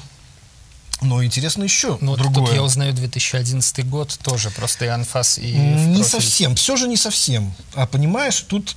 А, я имею есть... в виду, что исключения должны были появиться из этого угу, вот, угу. ну, общего да. правила, и они появились. Но еще одно исключение, которое там есть, про которое почему-то мало кто обратил внимание, пункт 2.6. Это про бюджетные а, да, средства, да? Приобретение есть... иностранной валюты за счет бюджетных средств – значит, не освобождается от налога на приобретение иностранной ну, валюты. вот ты знаешь, пока нет комментария, мне сложно наверняка судить о том, что это значит. Но мне кажется, что очередной раз э, частников и государственный сектор э, развели по разные стороны. Не, совсем государственный углы. сектор, потому что все же речь должна идти в данном случае о использовании средств бюджета. То есть, если это бюджетное э, финансирование, ну, то есть это, это скорее учреждение больше, чем чем какие-то предприятия, потому что то есть, покупка госпредприятием за счет собственных средств все-таки формально, это не да, конечно, средства, конечно. Да? Ну это хорошо, потому что иначе это выглядело совсем ну, да. уж, уж, уж плохо, не в пользу частного сектора. Вот. Дальше начинаются интересные вещи. Значит, выступает уже 21 числа Максим Ермолович, сам министр финансов, говорит о том, что этот сбор у нас предположительно действует до 1 февраля, что, значит, исходя из того, что там 20 торговых дней биржевых, значит, с учетом того, что в среднем там ежедневно там предложение и спрос примерно вот предположительно будет такой же, как было раньше, значит, доходы составят около 5 триллионов рублей. И вот мы смотрим на первые же результаты этих торгов, да, uh значит, ну и и что получается? Получается удивительная вещь.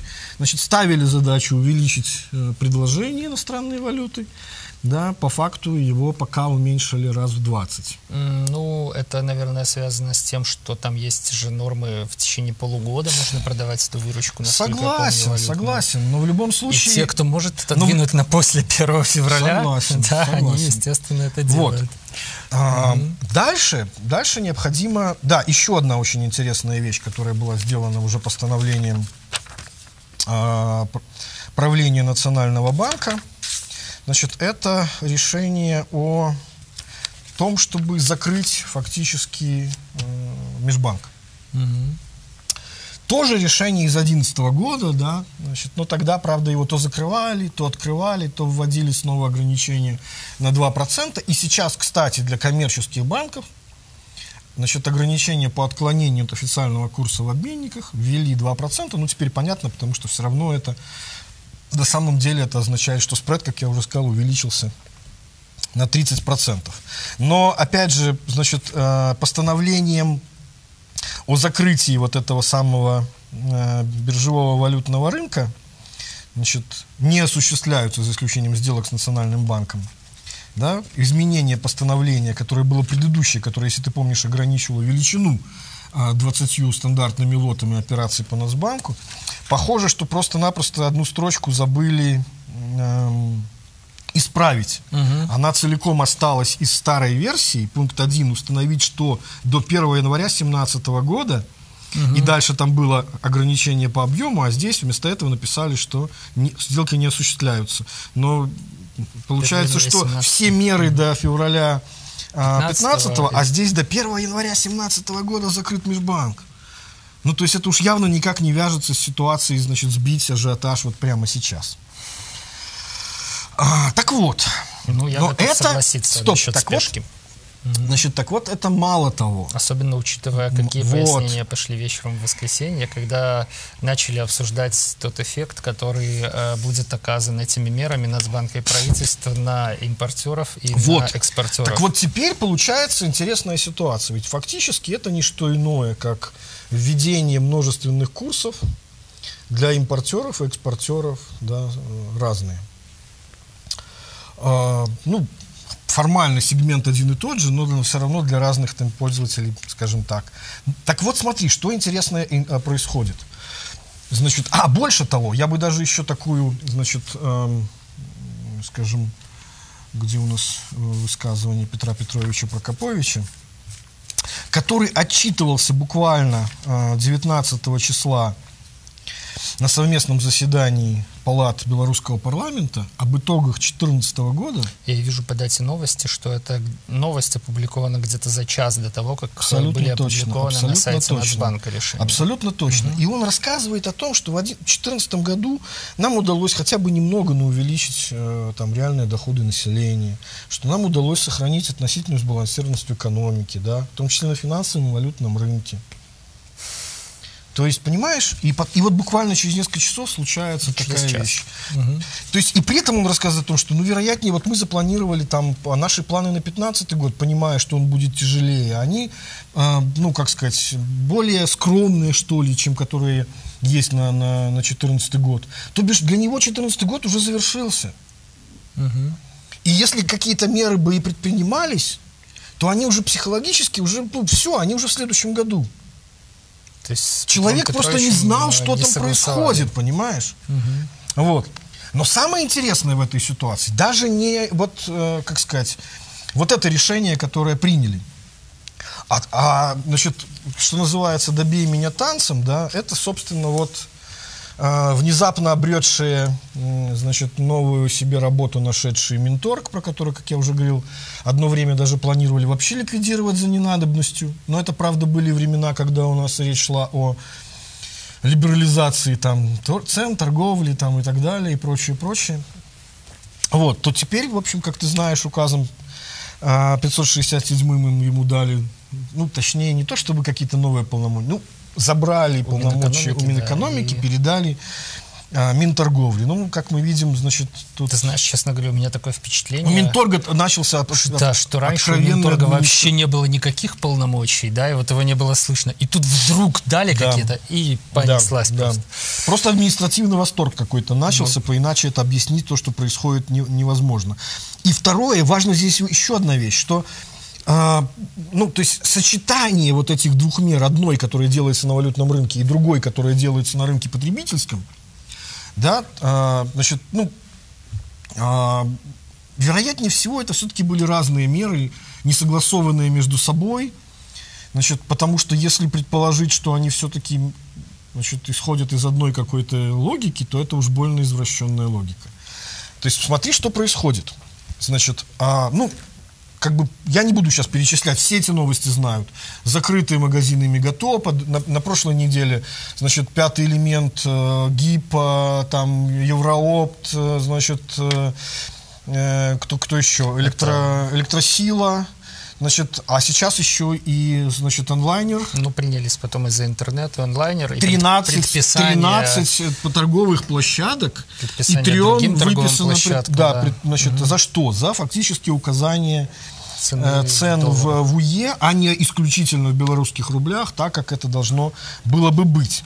Значит, но и помимо этого всего, ладно, бог с ним, понятно, указание там в долларах, а не дай бог, ну, я не знаю, ну, как рассуждать, то есть, что люди, э, значит, э, как это сказать, внезапно, ну, в нас э, Минторги побоялись, что люди возьмут в руки калькулятор и поделят э, белорусские рубли, значит, на, Ну, у меня на есть- доллары и увидят... есть версия, почему это так, потому что, конечно, указание цены в долларах дает э, продавцу возможность установить уже потом при переговорах Разумеется. с покупателем любую цену в рублях. Разумеется, разумеется. да? Вот. А вот указание цены в рублях уже как бы не отвертишься. Да? и Вот, причем, причем, причем я не буду сейчас перечислять, то есть там, там э, реально домоклов меч висит. Там, значит, еще и рабочие группы специальные будут создаваться. Там, значит, Госстандарт, Минторг, Минздрав, Вот, я, это, Минсельхозпрод. это меня возмутило больше всего. Смотри, смотри. С одной стороны, мы возмущаемся, что э, какой-то Россельхознадзор да, закрывает э, поставки белорусской продукции в Россию. И мы говорим, это политика. Да? Как же У так? нас отличная... Проверяли, проверяли, а потом вдруг все стали плохими. Не, ну Помнишь да, высказывание президента? Ну, 23 да, предприятия у нас, внезапно типа, все у стали нас плохие. Так не бывает. продукты, очень Да. качественные, да? И тут вдруг, кто же будет проверять, э, что белорусские магазины не увеличили цены? Кто будет проверять? Минздрав будет проверять. А как это так? А что он будет проверять, интересно, да? Ну, понятно же, что э, нету каких-то законодательных актов, э, на основании которых можно закрыть магазин за то, что он изменил цены, да, там, в большую сторону после вот этого введения 30% комиссии. Зато Минздрав может доколупаться Да. до каких-нибудь там... Так теперь Еще сейчас пожарники пойдут кто проверять, и все угодно, остальные. Госстандарт. Я не понимаю, что же происходит, интересно. С одной стороны, мы возмущаемся, когда в отношении нас э, на государственном уровне Россия такие меры предпринимает, да, а с другой стороны, мы сами, да, А теперь, пожалуйста. а теперь давай попытаемся, значит, все-таки эту логику хоть какую-то, но восстановить, да, потому что, как в Гамлете, да, в этом самом, его безумии есть система, но хоть, ну, даже в самых каких-то нелогичных вещах, но очевидно же какая-то мотивация присутствует, и наша задача попытаться ее понять. То есть запрос, ну, как- хотя бы вот логически сложить запрос, который был со стороны президента, что необходимо сделать были эти вещи, мы примерно поняли. Что, при, что сделали, значит, э, Нацбанк и правительство, наверное, все-таки не совсем то, что ожидалось. Ну, по, по крайней мере, так мы это видим. Вот. Потому что, как, э, ну, сказать, что у нас сохраняется, э, значит, как сказать, свобода на всех сегментах, ну, наверное, все-таки нет, потому что, ну, это примерно, то есть можно было бы с таким же удовольствием назвать этот налог там штрафом за покупку валюты. ну, значит, п- Практически это так и есть. Тебя наказывают за то, что ты Это, конечно, ее любая покупаешь. комиссия – это ограничение. Если у тебя нет денег или не хватает денег, ты выбываешь, как бы, да. Так вот, теперь про, про действия Минторга. Не указание э, цен значит, в, в иностранной валюте. Объяснение какое? Значит, ам, поступили сведения о том, что именно этот сегмент захлестнул галопирующий скачок цен. Ну, то бишь там в рублях, значит... э, Не то же, что в валюте. Да. Значит, поэтому сегодня прекращена деятельность, вот, например, онлайнера. Значит, а- заметь, да, то есть основное это галопирующий скачок цен, не все-таки вот этот валютообменный вопрос. То есть нет де- дедоларизации. Да, да, да, как ми- тем пока более. так. Мгм. А дальше это нарушение введенного моратория на повышение розничных цен, которое прежде всего распространялось на сетевиков, а плюс еще дополнительно было принято постановление Совмина, Совмина. да, которое мы еще коснемся. Вот. А, салон керамической плитки за повышение цены, значит, по телефону доверия сообщили на 33%, значит, их остановили. Прекрасный Вот. Дальше. Повышение цен быть не должно. Предприятиям торговли не стоит баловаться с ценами. Такое мнение высказал журналистам первый заместитель министра торговли Артур Карпович, передает корреспондент Белта. Повышение цен быть не должно. Значит, ну вот. Больше того, Министерство торговли, это уже Ирина Наркевич, другой замминистра торговли. А, Министерство торговли приняло решение ввести мораторий на рост цен как в рознице, так и цен, которые отпускает изготовитель или поставщик, возможно, даже импортер. Мгм. То есть, чтобы вся цепочка по цене товаров не повышалась. Это решение обезопасит граждан от галопирующего повышения цен. А, Откуда эта фраза появилась? Потому что Ассоциация розничных цепи- э, сетей сказала, ну, ребята, если вы ограничиваете нас, то ну, введите такое же ограничение и на входящие к нам цены, и мы готовы в этом, в этом случае их исполнять. Мгм. Все вроде бы пока нормально, да, не допустить роста цен, и так далее, и так далее. Значит, вот мы... Но опять же, заметь, это же тоже все, в общем, временная мера. У нее немножко другой дедлайн, насколько я помню, это 15 января, но все равно примерно вот на сейчас оно В приходится. постановлении, по-моему, уже не 15 января. А, Я не уверен, но Когда в- по Минску так точно, когда по вот... э, это раньше было 15 да. января, а в постановлении, по-моему, уже 1 февраля там звучит. Вот оно, постановление.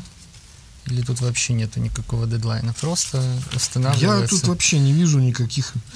просто устанавливается Про- мораторий не- на рост ус- цен. установить не на до- уровне не- 18 на уровне декабря. 18 декабря, И то бишь всё. за день до вот этих самых вот решений. Мгм. Так вот, а, значит, включая даже импортеров. Ну, правильно. А вот теперь представим себе ситуацию. Значит, Представим себе импортера. ну да. У которого, ну, значит, товар закончится, дальше ему придется валюту покупать на плюс на 30% дороже. А на самом деле, похоже, и больше. Потому что, как правильно тот же самый Максим Знак за- заметил, которого я уже в прошлой передаче цитировал, если этот сбор не относится или налог не относится на э, расходы, затраты или в нереализационные расходы, А то он не относится, не расход- значит, ты платишь его с прибыли, Мгм. И, Значит, значит, дополнительным еще и- налогом на прибыль еще эта сумма будет облагаться. вот. То есть каким образом сделать так, чтобы у них цены не выросли?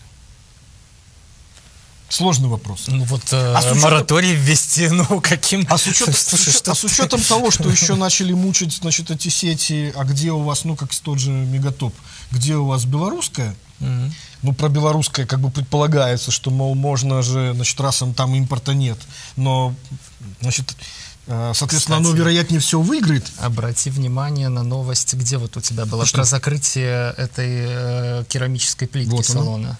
Посмотри, у руководителя магазина будет время подумать и заключить договоры с отечественными Да. производителями керамической плитки. Привести ассортимент.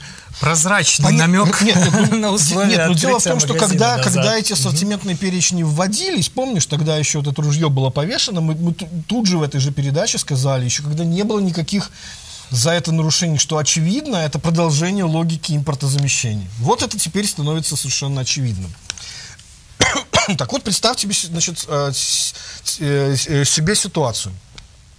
Значит, при- принимается решение, которое, а, значит, как президент сказал, да, избежать вот этого вот обвала.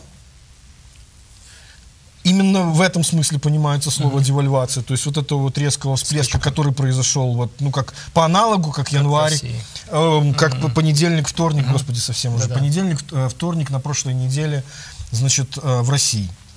И уровень жизни, то бишь, э, чтобы на ценах это не сказалось. В том, что такая логика была у Совмина, значит, эм, практически открытым текстом сказал э, Михаил Владимирович Мясникович, комментируя вот все то, что уже, значит, суммарно произошло, ну, потому что Совмин же давал это постановление о, значит, э, неповышении э, цен на тарифы э, услуг э, естественных монополий. И помимо всего прочего, там еще и всем-всем обеспечить значит, этот мораторий и Атланту, Горизонту, да, рост поставок продукции в розничную сеть. Ну вот, наконец, как это, как любят говорить либертарий, Атлант расправил плечи, да? Угу. Вот.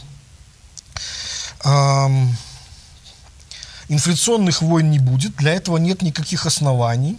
Если по, по, посмотреть на поведение импортеров, их доходность торговли даже при 30% сборе будет выше, чем при аналогичном поведении в России и Украине, сказал Михаил Мясникович в эфире. То есть имеется в виду, что там-то девальвация, как он сказал, 180-200% случилась. Угу. А у нас только добавилось 30%, и это не девальвация, а увеличение расходов. Но там-то как-то же люди, значит, импортеры почему-то же работают, со 180 и 200 процентами, а у нас, мол, значит, при 30 тоже каким-то ну, образом там справиться. наверное, цены имеют право поднять. Вот это как раз... умолчал Михаил Владимирович. А вот это кажется. как раз не совсем так, кстати. К этому, вот я, мне просто нужно будет найти, где, где это выражение. Сейчас.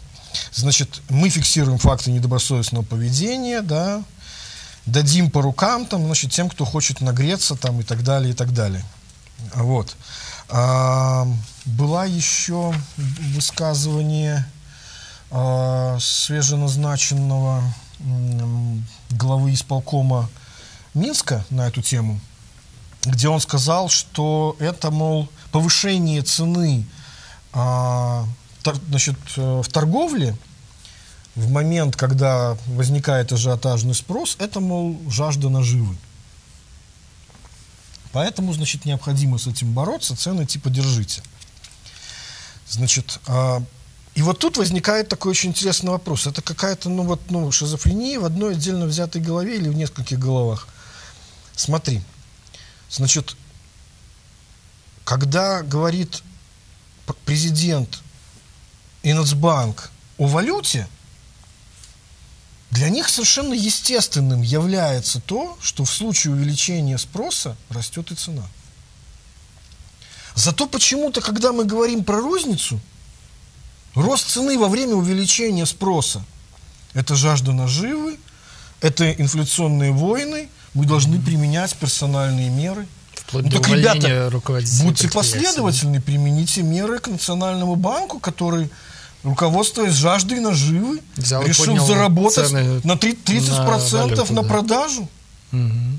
Мало того, вы сейчас мучаете, значит, э, э, торговцев за установление цен, в неуказание цен, значит, в белорусских рублях, а, значит, Национальный банк, который на своем сайте приводит цены продажи э, с золотых мирных слитков исключительно в долларах, а покупку исключительно в рублях. Ну, та же мера, которая случилась э, в апреле 2011 э, года, ну, как бы, mm-hmm. то есть, почему на разных сегментах рынка, нет, я понимаю, видимо, нет ощущения того, что валюта это тоже товар, да, и что тут какие-то законы действуют совершенно другие. Слушай, ну золото-то это точно товар. А теперь, а теперь, значит, смотри, вот я к, к ну, разумеется, так mm. вот, э, Значит, выражение э, Михаила Владимировича. Стандартная девальвация национальной валюты не дала бы должного эффекта, и при зависимости инфляции от девальвации цены бы выросли, и все вернулось бы на исходную точку. Угу. То есть он предполагает, что цены бы выросли ровно настолько, что полностью бы скомпенсировали результат значит, э, этой девальвации, и в реальном выражении курс остался тем же самым. Но, Но мы же видели, что так не происходит. Во-первых. Во-вторых, он предполагает, что то, что произошло, не должно вызвать скачка цен. При том, что фактически в отношении импортеров угу. это ну, и звучит ровненько как девальвация. Ну, да. Но то бишь, вот о чем идет речь. Значит, девальвация не годится в их представлении, потому что все потом ценами съедается. Угу. Значит, в то же самое время, проводя не девальвацию, мы боремся с инфляцией, запрещая ее административно. И действительно, значит, э, фактически об этом такая речь и идет. Сейчас, сейчас, сейчас, сейчас, сейчас. Тоже ищешь высказывание Мясниковича, да? А, да, совершенно верно, что мы разорвали тем самым, как же это, как же, господи, вот, блин, из-за все-таки ограниченного времени на подготовку все пришлось... Прекрасно, можете просто сейчас подумать, что же именно тем самым разорвали. Мы а, пошли на нетрадиционные меры и разорвали вот, а, инфляционно-девальвационную спираль. Ну как разорвали? Ну, ты понимаешь, да? Запретив инфляцию. Да, фактически так. Ну, так то есть, с одной стороны, момент то есть, что, что случилось? Значит, вместо того, что указывал президент, решить ситуацию путем, и туда уже двигались, вот эти плюс 10%, это было вроде бы направление в то, что, значит, раз спрос увеличился, цена увеличивается, да, сдемпфируйте курс, но ограничьте колебания за счет действий Национального банка. Вот в чем была, был заказ. Вместо этого происходит, мы отменили изменения, угу. можно даже сказать, и отменили девальвацию. Чем? Вот то, о чем президент говорил, административными вещами, которые делать не надо. Введением этого самого Маратовия, сбора. А, сбора. А цены, инфляцию, которая была бы в случае, если угу. бы эта значит, девальвация случилась, но ее-то у нас нет, угу. А тем не менее мы с последствиями значит, повышения с цен... последствиями девальвации, да, которые нет, нет боремся, боремся каким способом? Административно. Да, фактически, моратория. значит, отменяя инфляцию. Угу. Вот, но самое интересное, самое интересное, другое. Значит, э, вспомни важная э, часть рассуждений прошлой передачи о том, на что же рассчитывают наши власти почему ситуация с их точки зрения уже в среднесрочной перспективе. Сейчас мы говорим о вот этом вот гиперболическом взлете и параболическом же спаде, да, валюты. А вот э, ведь указ-то подписан же о компенсации курсовых разниц э, экспортерам, угу. которые пострадали от российского рубля падения, да? Значит, э, о, о чем мы говорили? О том, что расчет был на то, так, такие были цитаты, что значит, цены там догонят темпы девальвации, угу. и, мол, значит, это компенсирует нам хотя бы частично эти потери.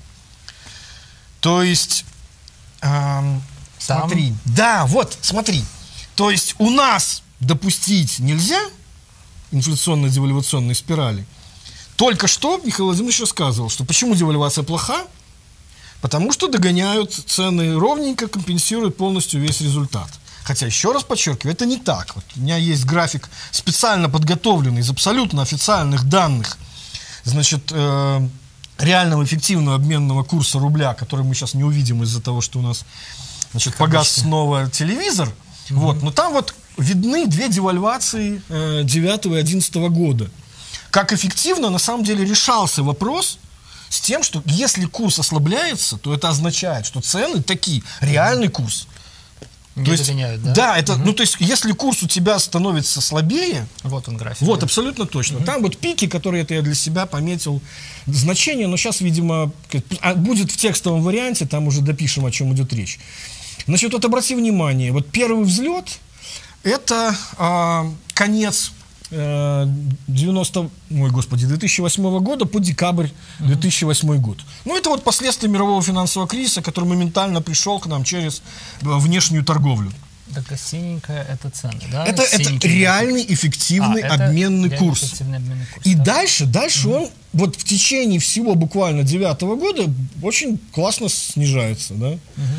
То есть, иными словами, э, цены не догнали угу. тот уровень девальвации, который случился в номинальном выражении, угу. это означает, что товары наши подешевели. И результат таки был достигнут. И точно так же это было видно, как это происходит и в 2011 году. Ну и, кстати, там же видны вот эти моменты, когда начинаются вот эти взлеты, да, э, укрепления угу. э, обмен, э, обменного курса валюты. То есть вот если взять пунктирную красную линию, слегка нисходящую, это э, тренд, вычисленный просто по методу средних квадратов. То есть вот колебания вокруг него происходят. Мы видим, что дно было явно с перелетом в в 2011 году, ну и вот сейчас у нас перелет в обратную сторону. Угу. Ноябрь, данные ноябрьские этого года. Вот как бы о чем идет речь. То есть по факту мы знаем, что так не происходит. Но при этом, смотри, что получается. Наш премьер говорит о том, что у нас девальвацию мы не делаем, потому что в этом случае значит, реальный курс останется на, на том же месте, хотя вот факты, да, угу. считаемые самим Нацбанком. Так не получается. То есть у нас произойдет эта девальвационная инфляционная спираль, если мы, не дай бог, туда по этому пути пойдем.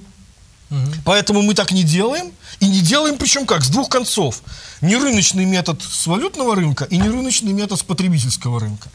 Но при этом в России рассчитываем, желаем, чтобы у них это случилось. Но с удивлением обнаруживаем, начало цитаты, в России у нашего главного торгового партнера цены импорта существенно отстают от девальвации национальной валюты. Эта разница во многом будет компенсирована правительством, такие решения приняты, президентом одобрены. Вот ну, то есть имеется в виду вот эта разница нашим импор, а, значит, э, экспортерам... Ну, то переведу. То есть, если мы у нас сделаем девальвацию, то у нас цены сразу же догонят ее. Да. А вот в России... Ну, не сразу же, ну, когда-нибудь ну, да, догонят. догонят. А вот да. в России что-то ребята сделали девальвацию, и там и не цены догоняют. не догоняют. И поэтому... Угу. И поэтому просто, мы должны то компенсировать... То есть, мы не просто ждем уже, что это произойдет, а мы уже приняли решение компенсации. Угу. Теперь начинаем рассуждать логически. Откуда возникает эта самая компенсация? Ну, помнишь же, э, значит, значит, потери возникают из-за того, что мы получаем меньше денег, чем хотели бы. То есть конкурентоспособность наших товаров значит, уменьшается за счет того, что там э, значит, э, цены оказываются ниже. То бишь, это как раз результат того, ну, то есть рубль слабеет, значит, российский, значит, наш по отношению к российскому становится дорогим. Угу. Иными словами, завышен курс реального эффективного обменного курса. Поэтому из-за того, что он сейчас это мы уже говорим не про вот этот вот краткосрочный ажиотажный спрос, а про более среднесрочный э, э, горизонт планирования в два примерно квартала минимум, а может быть и три, в течение которого вот и происходит вот это вот устаканивание ситуации. Э, значит, получается, что из-за того, что в течение этого момента, то есть наш рубль дороже, чем должен был бы быть, соответственно, идет недобор валютной выручки. То есть мы теряем конкурентоспособность экспорта. Мы решаем э, задачу каким образом? Значит, исправить ситуацию те, кто оказался в, этой, в этом положении из-за фактически валютной политики Национального банка – находя какие-то инструменты за счет бюджета, как им скомпенсировать эти, значит, убытки. И там такой сложный указ, там я его, честно говоря, там без пол-литра бы сейчас не понял, каким образом, и думаю, что и там придется еще давать значит, указания. Ну, Михаил Владимирович сказал, что физический смысл того, что они реш... сделали, это беспроцентный кредит. Ну, окей, поверим, значит, премьеру, он сам знает, видимо, и готовил в том числе это решение, поэтому понятно, значит, куда, а, а, о чем, значит, речь идет. Так вот, а, но при этом я тебе, значит, еще одно высказывание найду. Наиболее адекватными выступлениями из Минторга оказались как раз, как несложно догадаться, у такие у министра торговли, который выступил по НТ, где он сказал... Самым последним, вчера вечером. Да, где он сказал, что это не, не надо трактовать как борьбу с частником, да, то есть не думайте, что это какой-то крестовый поход, потому что реально это выглядело так, как, как, ну, как будто это с, выглядит как, как массированное импортозамещение, я тебе скажу. Шоковое, когда, я бы даже когда, так сказал, наш, наш термин надо использовать. Когда в одном да. постановлении, в одном пункте угу, написано угу. не э, обеспечьте то, чтобы цены не росли, а в следующем написано горизонту Атланту да, и прочим. расправить плечи. Пожалуйста, да. расправить плечи. Когда... Совершенно верно. Да, так вот, ну. его цитата из ОНТ, вчерашняя, в случае возникновения ситуации, если маржинальность импортируемой техники окажется ниже суммы 30% сбора, угу. а еще раз говорю, важно здесь что? Ведь эти 30% сбор, он нужен, должен платиться из прибыли. У нас очень мало импортеров, которые могли бы иметь ну, 30% прибыль на самом деле. Ну да. То есть это на самом деле это очень много с точки зрения по, по отношению к выручке. С учетом их, с учетом того, что там та же рентабельность там э, торговли у нас, да и вообще в целом по республике у нас рентабельность там чуть ниже 10%, можно себе представить, что такое эти 30%. 30%, да. А с учетом того, что у нас вообще в произведенной продукции доля импорта около 40%. Угу. 40 плюс 30, ну, то есть... Так вот, и вот он о чем говорит, что если маржинальность импортируемой продукции кажется ниже суммы 30% сбора, ну, а это может быть только в том случае, если чуть ли не трехкратная там была, значит, уже стояла к тому времени накрутка цены. Угу. Этого не может быть. Тогда это не случится. Угу, да. Мы будем разбираться. Ну, а как я уже сказал, это почти гарантированно. Чуть ли не все окажутся в этой ситуации. Причем с каждым отдельно взятым случаем в, индивидуальном порядке. Конечно, в убыток себе никто работать не будет. Ну и плюс второй, повторил он высказывание э, своего зама о том, что, значит, не, не закрывайтесь. Мы вас открывали, значит, не для того, чтобы вы закрывались. Значит, э, Тоже, кстати, гениальная позиция. нет, если вдуматься, это вообще полный абсурд, потому что это примерно так. Если вы закроетесь, то типа мы Мы вам пригрозим, мы вам вас не откроем. Ну, Ну, ты понимаешь, частнику говорить о том, по каким ценам он должен продавать. да? сейчас уже ты- Частнику послушай, говорят, Паша, давай сейчас, давай сейчас не об этом. закрыть. Это Ну, все, это все надо было обсуждать уже две недели назад. Сейчас снявшие его голову по волосам не плачут. Я пытаюсь сейчас в этом какой-то ну, физический смысл найти. То есть внимание, а, в силу того решения, которое принято с двух сторон, то есть мы делаем не настоящую цену валюты, мы делаем не настоящую цену товара, а при этом становится ли от этого лучше хоть кому-то, от того, что мы вот занимаемся тем, что делаем вид. Экспортерам, как мы видим, нет. Они- Принято решение Ого. компенсировать им э, значит, э, курсовые разницы. Почему? Потому что они по-прежнему по тому же курсу будут вынуждены, а еще даже большую долю продавать ну, потому что было, потому что ни- ни- никак, никак не изменилась курсовая политика. Да, ну, Это значит, потери у них остаются, а с учетом того, что что-то там у русских негодяи, значит, девальвационная, инфляционная спираль, все никак не раскручивается, значит, придется и дальше, видимо, компенсировать. Но теперь же речь идет о том, что и импортеры, которые, для которых не настоящая цена валюты, да. И теперь и для них необходимо придумывать значит, какой-то способ, как ком- компенсировать их убытки, которые могут возникнуть из-за того, что им не дадут возможность повышать цены. Потому что сказано же, что по всей цепочке, включая начальных поставщиков. Выглядит как гора искусственных нагромождений уже. Ну, то есть, получается, что... То есть, как- вот это уже абсолютно четко можно сказать, что решение выбрано самое неудачное, потому что а, если бы... Ну, то есть, любое правильное решение не потребовало бы такого количества костылей. А ведь это же 100% паллиативы. Это означает, что вы наделали столько побочных эффектов, назначая такое лекарство, что теперь вам приходится в индивидуальном порядке бороться с вот этими С побочными каждым, эффектами. да. То есть, грубо говоря, у человека болела голова, ему дали таблетку, у него почки отказали. И теперь начинаем в индивидуальном порядке решать, как, как, как этот вопрос делать. Понимаешь, в чем фокус? Больше того, еще один маленький нюанс из торговли. Я знаю, что это не совсем лежит в, в плоскости уже разбираемой этой истории, а, значит, происходящего. Но это маленький красивый нюанс. Ситуация с мегатопом. Обрати внимание, насколько это... проти- Вот, то есть одна рука не знает делать, что, что делает другая. Смотри. Вот о чем говорит комментарий э, официальный Мегатопа. Когда им сказали о том, что, ребята, у вас много импорта. Они говорят, вообще-то обувь, реализуемая в сети магазина Мегатоп, это обувь торговых марок, права на которые также принадлежат компании. Мгм.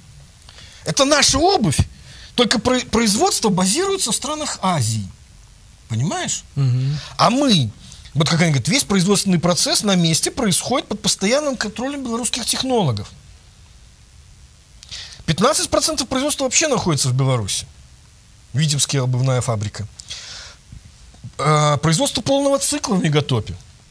Разработка коллекции на предстоящий сезон начинается за год до их поступления на полки магазинов. То есть они разрабатывают дизайн и только аутсорсят производство. Мгм. И вот за это их закрывают. То есть для Минторга это импорт. А на секундочку я напомню, помнишь, был недавно э, указ, который вносил изменения в правила работы ПВТ, которым недавно хвалился глава ПВТ Цыпкала? О чем там говорилось? Нам предоставлено право заниматься тем, чем занимаются все остальные компании. Он называл пример Apple. iPhone, произведенный черти знает где, разработанный Apple из черт знает каких китайских комплектующих, считается Apple'овским. Американским. Да. Угу. Дайте нам тоже такую возможность. Ну, то бишь, грубо говоря, дайте нам возможность, как и раньше, там клеить наклейки горизонт, там, да, как шутили ну, там. Это скорее возможность. Что такое iPhone? Интеграл фон, там, да, угу. сокращение и так далее. Понимаешь? То есть только-только пару недель назад ПВТ это разрешили? Угу. Как мегатопу взяли и запретили. Одно и то же. Ну а теперь, а, значит, собственно, переходит. То есть я к чему? Решение, которое принято, оно выглядит так, как даже противоречит указанию, которое было. Оно абсолютно неудачное, потому что не решает проблему. Я уже не буду повторять, все уже, кому не лень, про это дело прокомментировали. Если вы имеете такой гигантский спред, это значит, что официальный рынок вы делаете неликвидным. Это значит, что какой-то другой, неофициальный, будет ликвидным. Импортеры будут находить способ где-то найти тех экспортеров, чтобы сойтись где-то посередине. И то, что происходит сейчас с обязательной продажей, это ровно то же самое, что произошло Э, значит, э, когда, что случилось?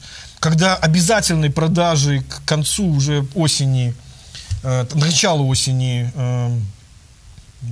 к концу лета, начала осени 2011 года перестало хватать на закупку даже критического импорта. Ну, вполне логично. Почему? Потому что э, конвертация стала происходить за уже там, за границей, да. а возвращались рубли. Больше того, а, смотри, ведь срок какой установили, да, до 1 февраля. То бишь, предположительно, ну, я пока сейчас утверждаю, что вот, ну, паника-то в России закончилась. И, вероятнее всего, и у нас бы закончилась. И, может быть, даже если бы подождали, то и вообще не нужно было бы всех этих решений. Ну, то есть, осталось бы все то же самое, о чем я говорил. Есть логика краткосрочная, есть логика среднесрочная. Среднесрочный, да, увеличение темпов ослабления белорусского рубля было неизбежным.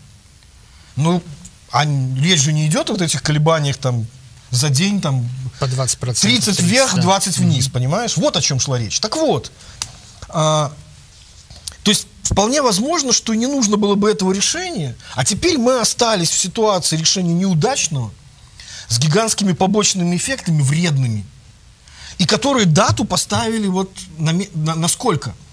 На почти полтора месяца вперед. А теперь напоминаю историю 2011 года. Когда начали появляться альтернативные площадки, кризис начался официально, то есть, ну, официально, я, то есть, как бы тогда сразу говорю, что в тот же день сказал, 16 числа, вот запрет на появление, да, когда на межбанке пропала верхняя котировка, то есть там не просто спред расширился, а все стали банки только на покупку, а на продажу уже никого не было. Вот дата, когда начался кризис. Уже в начале апреля, в самых первых числах, заработал сайт с названием, напоминающим фамилию тогдашнего главы Национального угу. банка. Угу. И примерно тогда же выстроили схемы, которые люди вспомнили еще из 90-х годов, конвертации через заречку, через корсчета э, буржуйских, там, ну, в данном случае чаще всего прибалтийских банков. Вот о чем идет речь. За месяц было найдено решение.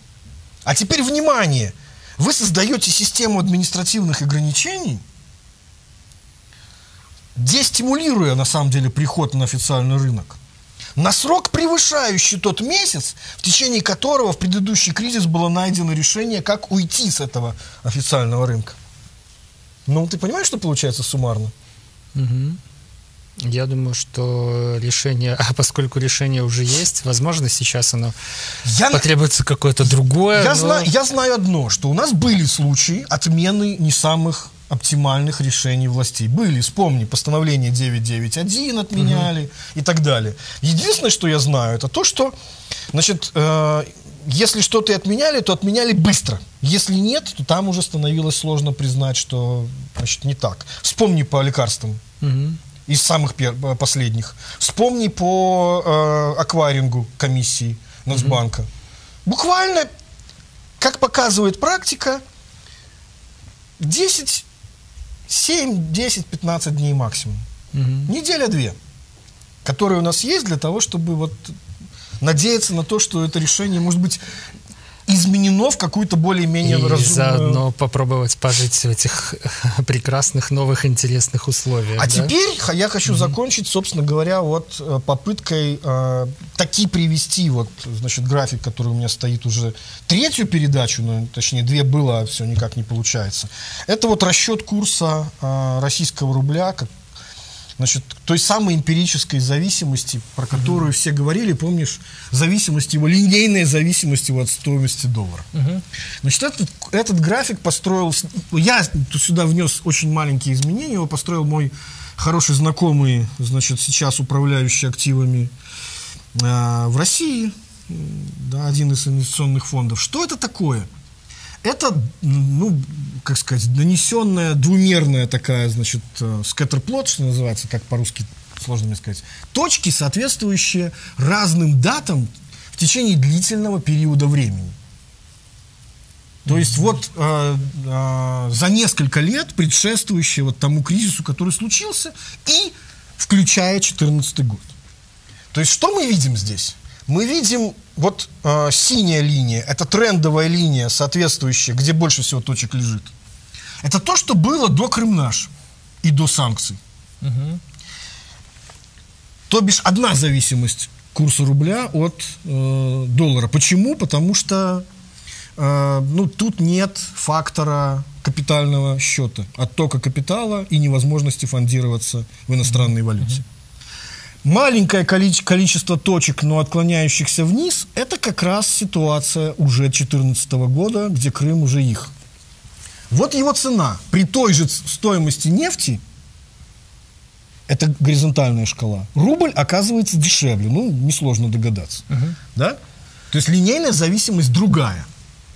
Вот примерно около 55, там, 6, 8 рублей за доллар российских, при примерно 60 с небольшим, как сейчас, а, значит, стоимости барреля, это вот та точка, которая лежит на вот этой красной линии.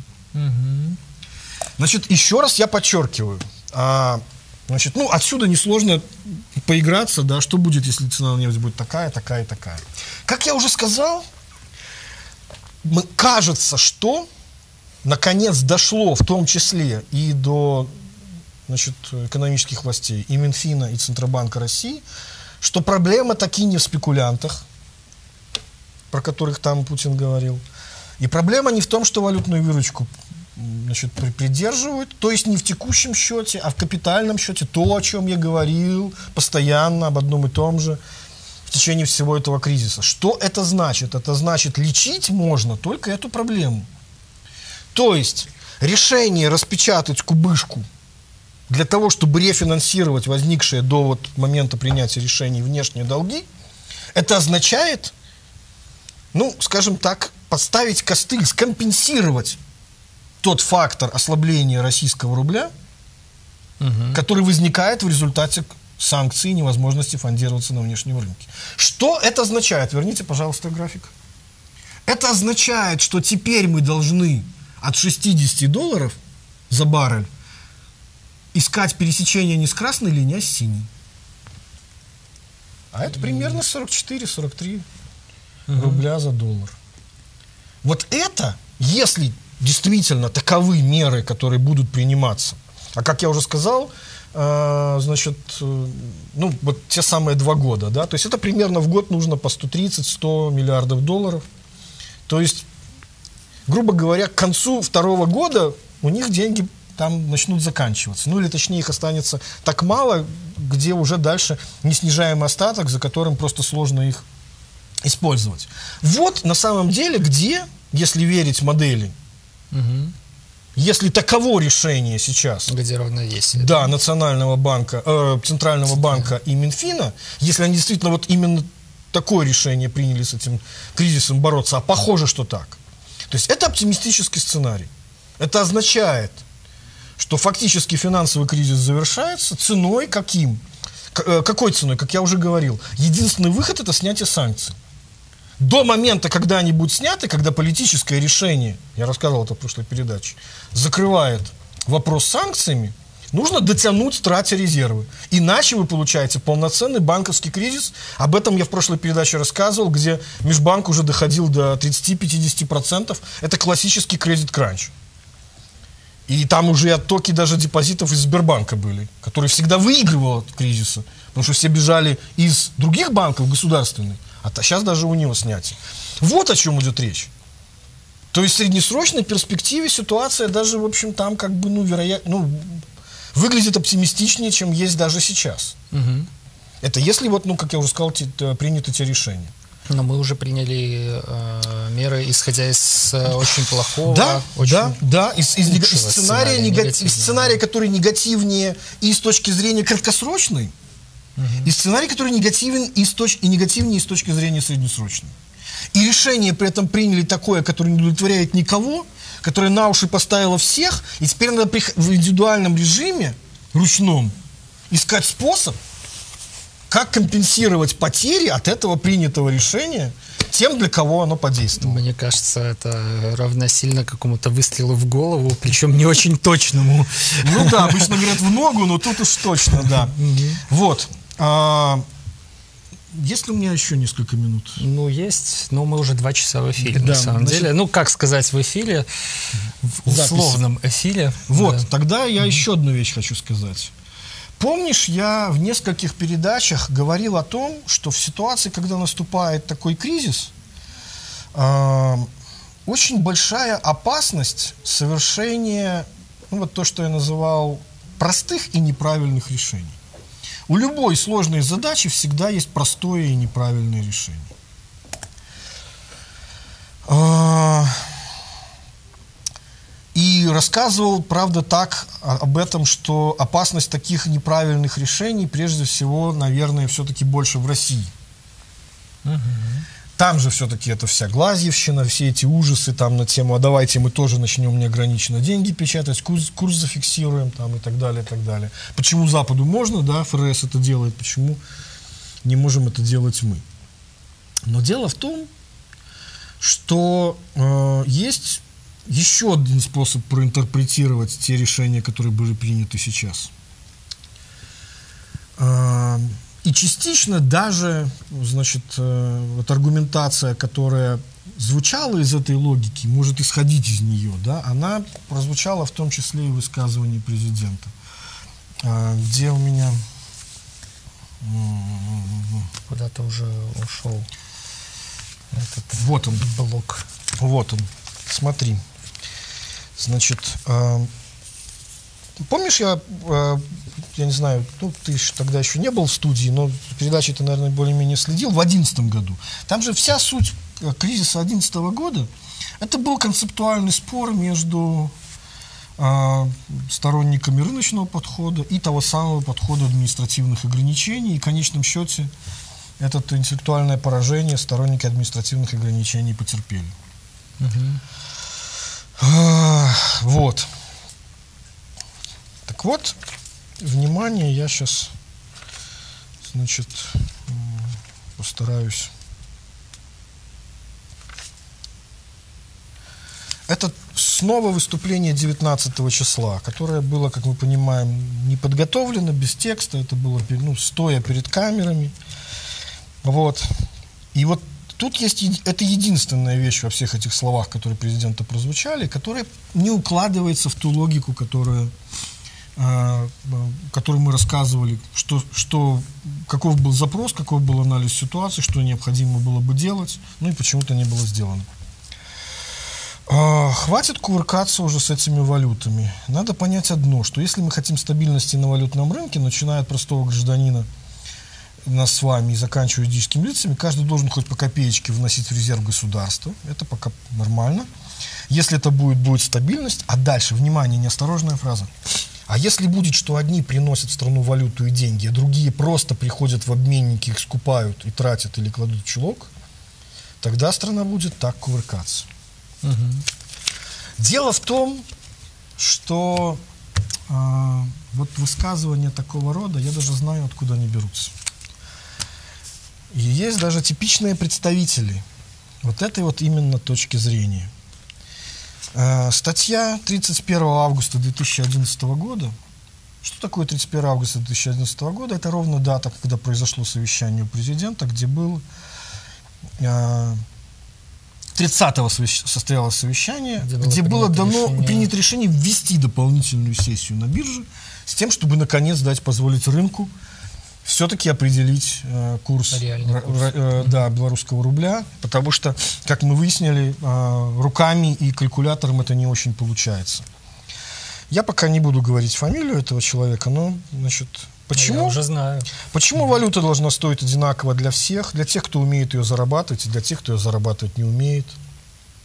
Это, экономика – это не только рынок, сфера производства, а сфера обмена, но еще и сфера потребления. У нас в сфере обмена и потребления доминирует на сфере производства. В сфере потребления находятся те, кто валюту не зарабатывает в принципе, но их интересы доминируют над интересами предприятий, которые эту валюту зарабатывают. Следует эти сферы разделить, так как в них действуют свои объективные законы. Таким образом, ну, раз там разные законы спроса и предложения, наличие нескольких валютных курсов логично и оправдано. То есть один курс для учителей, а ну, например, курс... Нет, ну в данном случае очевидно там... же, о чем идет речь. Есть экспортеры, которые ее привозят, есть импортеры, которые ее тратят. Угу.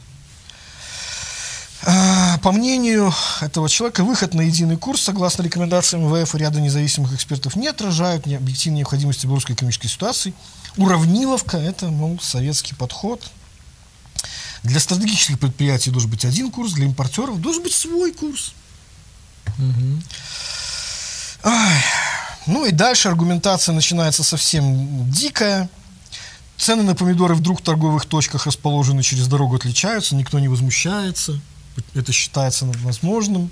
Тем не менее, почему вот мы такое вот не можем быть сделать, да? А мол, значит, э, вот эти самые введения двух разных курсов это нормальная защитная рыночная мера и даже вот соответствует. И еще несколько таких статей можно провести. Больше того, это на самом деле это, это вполне себе укоренившаяся, ну, со своей извращенной логикой, но достаточно разработанная теория. То есть логика там какая, что а, значит, вот смотрите, вот есть паритет покупательской способности, который так любят вот сторонники это, это, э, значит, э, этого подхода. Почему значит, нам советуют все время девальвацию, вот эти всякие негодяи значит, из э, МВФ? Смотрите, что они делают сами. Они печатают огромное количество долларов, на них все скупают, за счет эмиссии вот этого эмиссионного дохода, так называемого сеньоража, живут, а инфляцию свою экспортируют нам. А нас, значит, нам потом приходится бороться с этой инфляцией путем ограничения денежного предложения, монетарными методами, зажимая, значит, у себя все эти вот вещи. Вот. Ну и бом девальвация регулярно, значит, нам рекомендуется. И что получается? Значит, вот дальше такой возникает парадокс, когда э, официальный курс, то есть страны, которые э, богатые, они живут э, лучше, чем паритет покупательской способности. То есть, грубо говоря, их курс дороже, чем тот, который бы получался по вот этому паритету. Ну, что такое паритет покупательской способности? Это когда товары стоили бы одинаково при пересчете через, э, там, в разных странах, да. Ну, а вообще сама идея этой теории о том, что курс должен устанавливаться таким образом, чтобы большая-большая корзина валют, э, товаров, угу. услуг, там, всего чего угодно, примерно стоила бы вот в разных странах одинаково, и тогда, мол, это вот будет некое теоретическое равновесие. Так вот, они живут же... богаче, чем угу. значит, этот паритет. Их ВВП поэтому получается больше. А мы живем беднее, наш официальный курс ниже, и поэтому по, по официальному курсу значит, мы живем беднее, наш ВВП меньше, чем паритет покупательской способности.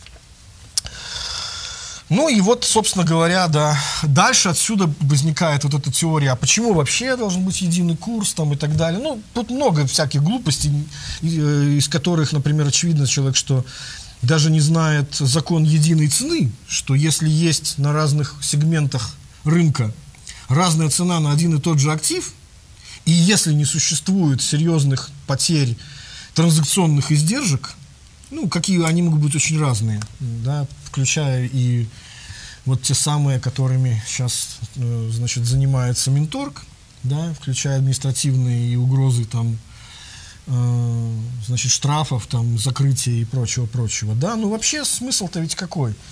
Говоря о помидорах там по разной цене, ведь э, вспомни 90-е годы, когда действительно можно было, значит, по разной цене купить мясо там на разных рынках. Но с течением времени это, этого не случилось. Ну, эти цены пришли в равновесие. Почему? Потому что как только возникает возможность э, как сказать, безрисковое извлечение прибыли путем арбитража, в одном месте купил, в другом одновременно продал, больше того, ведь фактически для этого же много денег не требуется. Ты там продал, у тебя появились рубли, здесь ты купил, и ты эти рубли потратил. И постепенно такие операции приведут к тому, что цены выставляются примерно в одно и то же. То же самое происходит с валютой. Это базовые вещи, которые этот профессор, пишущий такие глупости, не знает. Но тем не менее. А, а дальше, дальше я как-то однажды уже рассказывал, что вот откуда возникает разница у богатых стран и у бедных. Потому что на самом деле э, э, стоимость валюты определяется не по всем товарам, которые есть, и не по всем услугам. Ведь, еще раз говорю, когда происходит устранение, когда возникает закон единой цены, когда можно совершить арбитраж. То есть это так называемые торгуемые товары или услуги. Угу. Если у тебя пиво, например, в банке стоит там дороже, чем импортное, то рано или поздно эти цены уравновесятся. В банке ты имеешь в виду? В Я имею в виду или... ну, в, в бутылке, да. Угу. То есть то, что легко транспортировать. Угу. За исключением разницы на вот эти все там транзакционные издержки, транспортировка и все остальное. Угу. В то же самое время, например, известно, что, скажем, даже в разных районах одного и того же города, один будет богаче, другой э, беднее, будут разные цены на пиво разливное. Почему? Пиво-то перевести можно, а бар нет. Это не торгуемая услуга. И многие вещи, которые нельзя заместить импортом или продать за границу, они стоят по-разному. Сколько они стоят? В зависимости от того, какова конкурентоспособность тех работников, которые получают зарплату, производя те товары, которые торгуются на международных рынках. То бишь, иными словами, курс устанавливается таков, какова конкурентоспособность нашей э, там, промышленности, про, той продукции, которая на внешних рынках работает. Это нормально, так работает всегда. И если э, в странах, которые, почему они станут богаче? Потому что там производительность выше. И зарплаты вот этих работников выше. Поэтому естественным образом, как я уже сказал, бары дороже там, а это значит, что зарплаты тех людей, которые занимаются, предоставляют неторгуемые услуги, тех же барменов, Больше дороже, там. чем в странах, угу. где другой промышленный работник с другой производительностью туда. Вот в чем эта логика. То есть нет, ну, это, это совершенно базовые вещи. И даже если руководствоваться теорией паритета покупательской способности, то даже с точки зрения вот этой логики э, этого профессора, уже сейчас видно, что ну, если получается так, что товары, которые торгуемые, выгоднее покупать за рубежом или приобретать импорт, и иногда даже с учетом вот этой 30% э, сбора, то это явно говорит о том, что наш курс завышен даже исходя из его вот этой теории паритета покупательской способности. Но сама идея, подчеркиваю, вот это вот... То есть от этой разных... идеи мы отказались в Она потерпела году. блистательное поражение, Но понимаешь? Блистательное. Очень похожую идею о том, что курс должен быть разный для экспортеров ну, есть, и импортеров, ну, мы взяли прямо ну, сейчас то есть, вот я, вот, Да, получается так, что если... Э, я говорю еще раз, вот есть определенная логика, да, то есть все, что мы сделали в этой передаче, постарались попытаться реконструировать диагноз ситуации, да, какие запрос, какие меры необходимо было сделать, насколько адекватным был диагноз, да, вроде бы все, в общем, как бы получается логично. Но вместо этого принимается решение, которое не просто не решает э, значит, поставленные задачи, которое создает большое количество э, значит, проблем, побочных эффектов. Да. И... Но больше того, похоже, исходит из теории, которая протухла еще три года назад.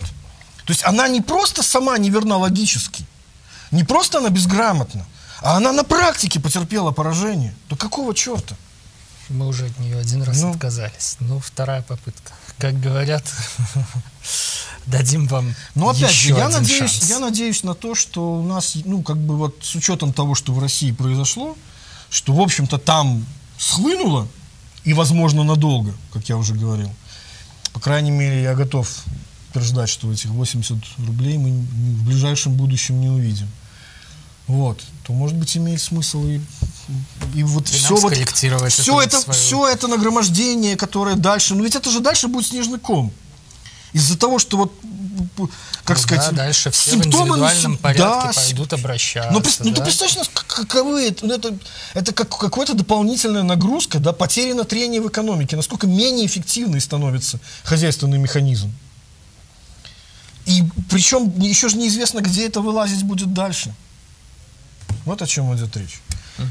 То есть, ну, как бы на этом, пожалуй, и имеет смысл завершить. Основные вещи, которые я хотел, я, в общем, уже сказал. Ну, я думаю, что нам нужно извиниться перед нашими Да. зрителями за то, что эта программа э, не вышла в прямом эфире, как, в общем-то, мы рассчитывали и как вы рассчитывали. Ну, наверное, для этого были какие-то объективные Ну, для обстоятельства. меня-то разницы никакой особой не было.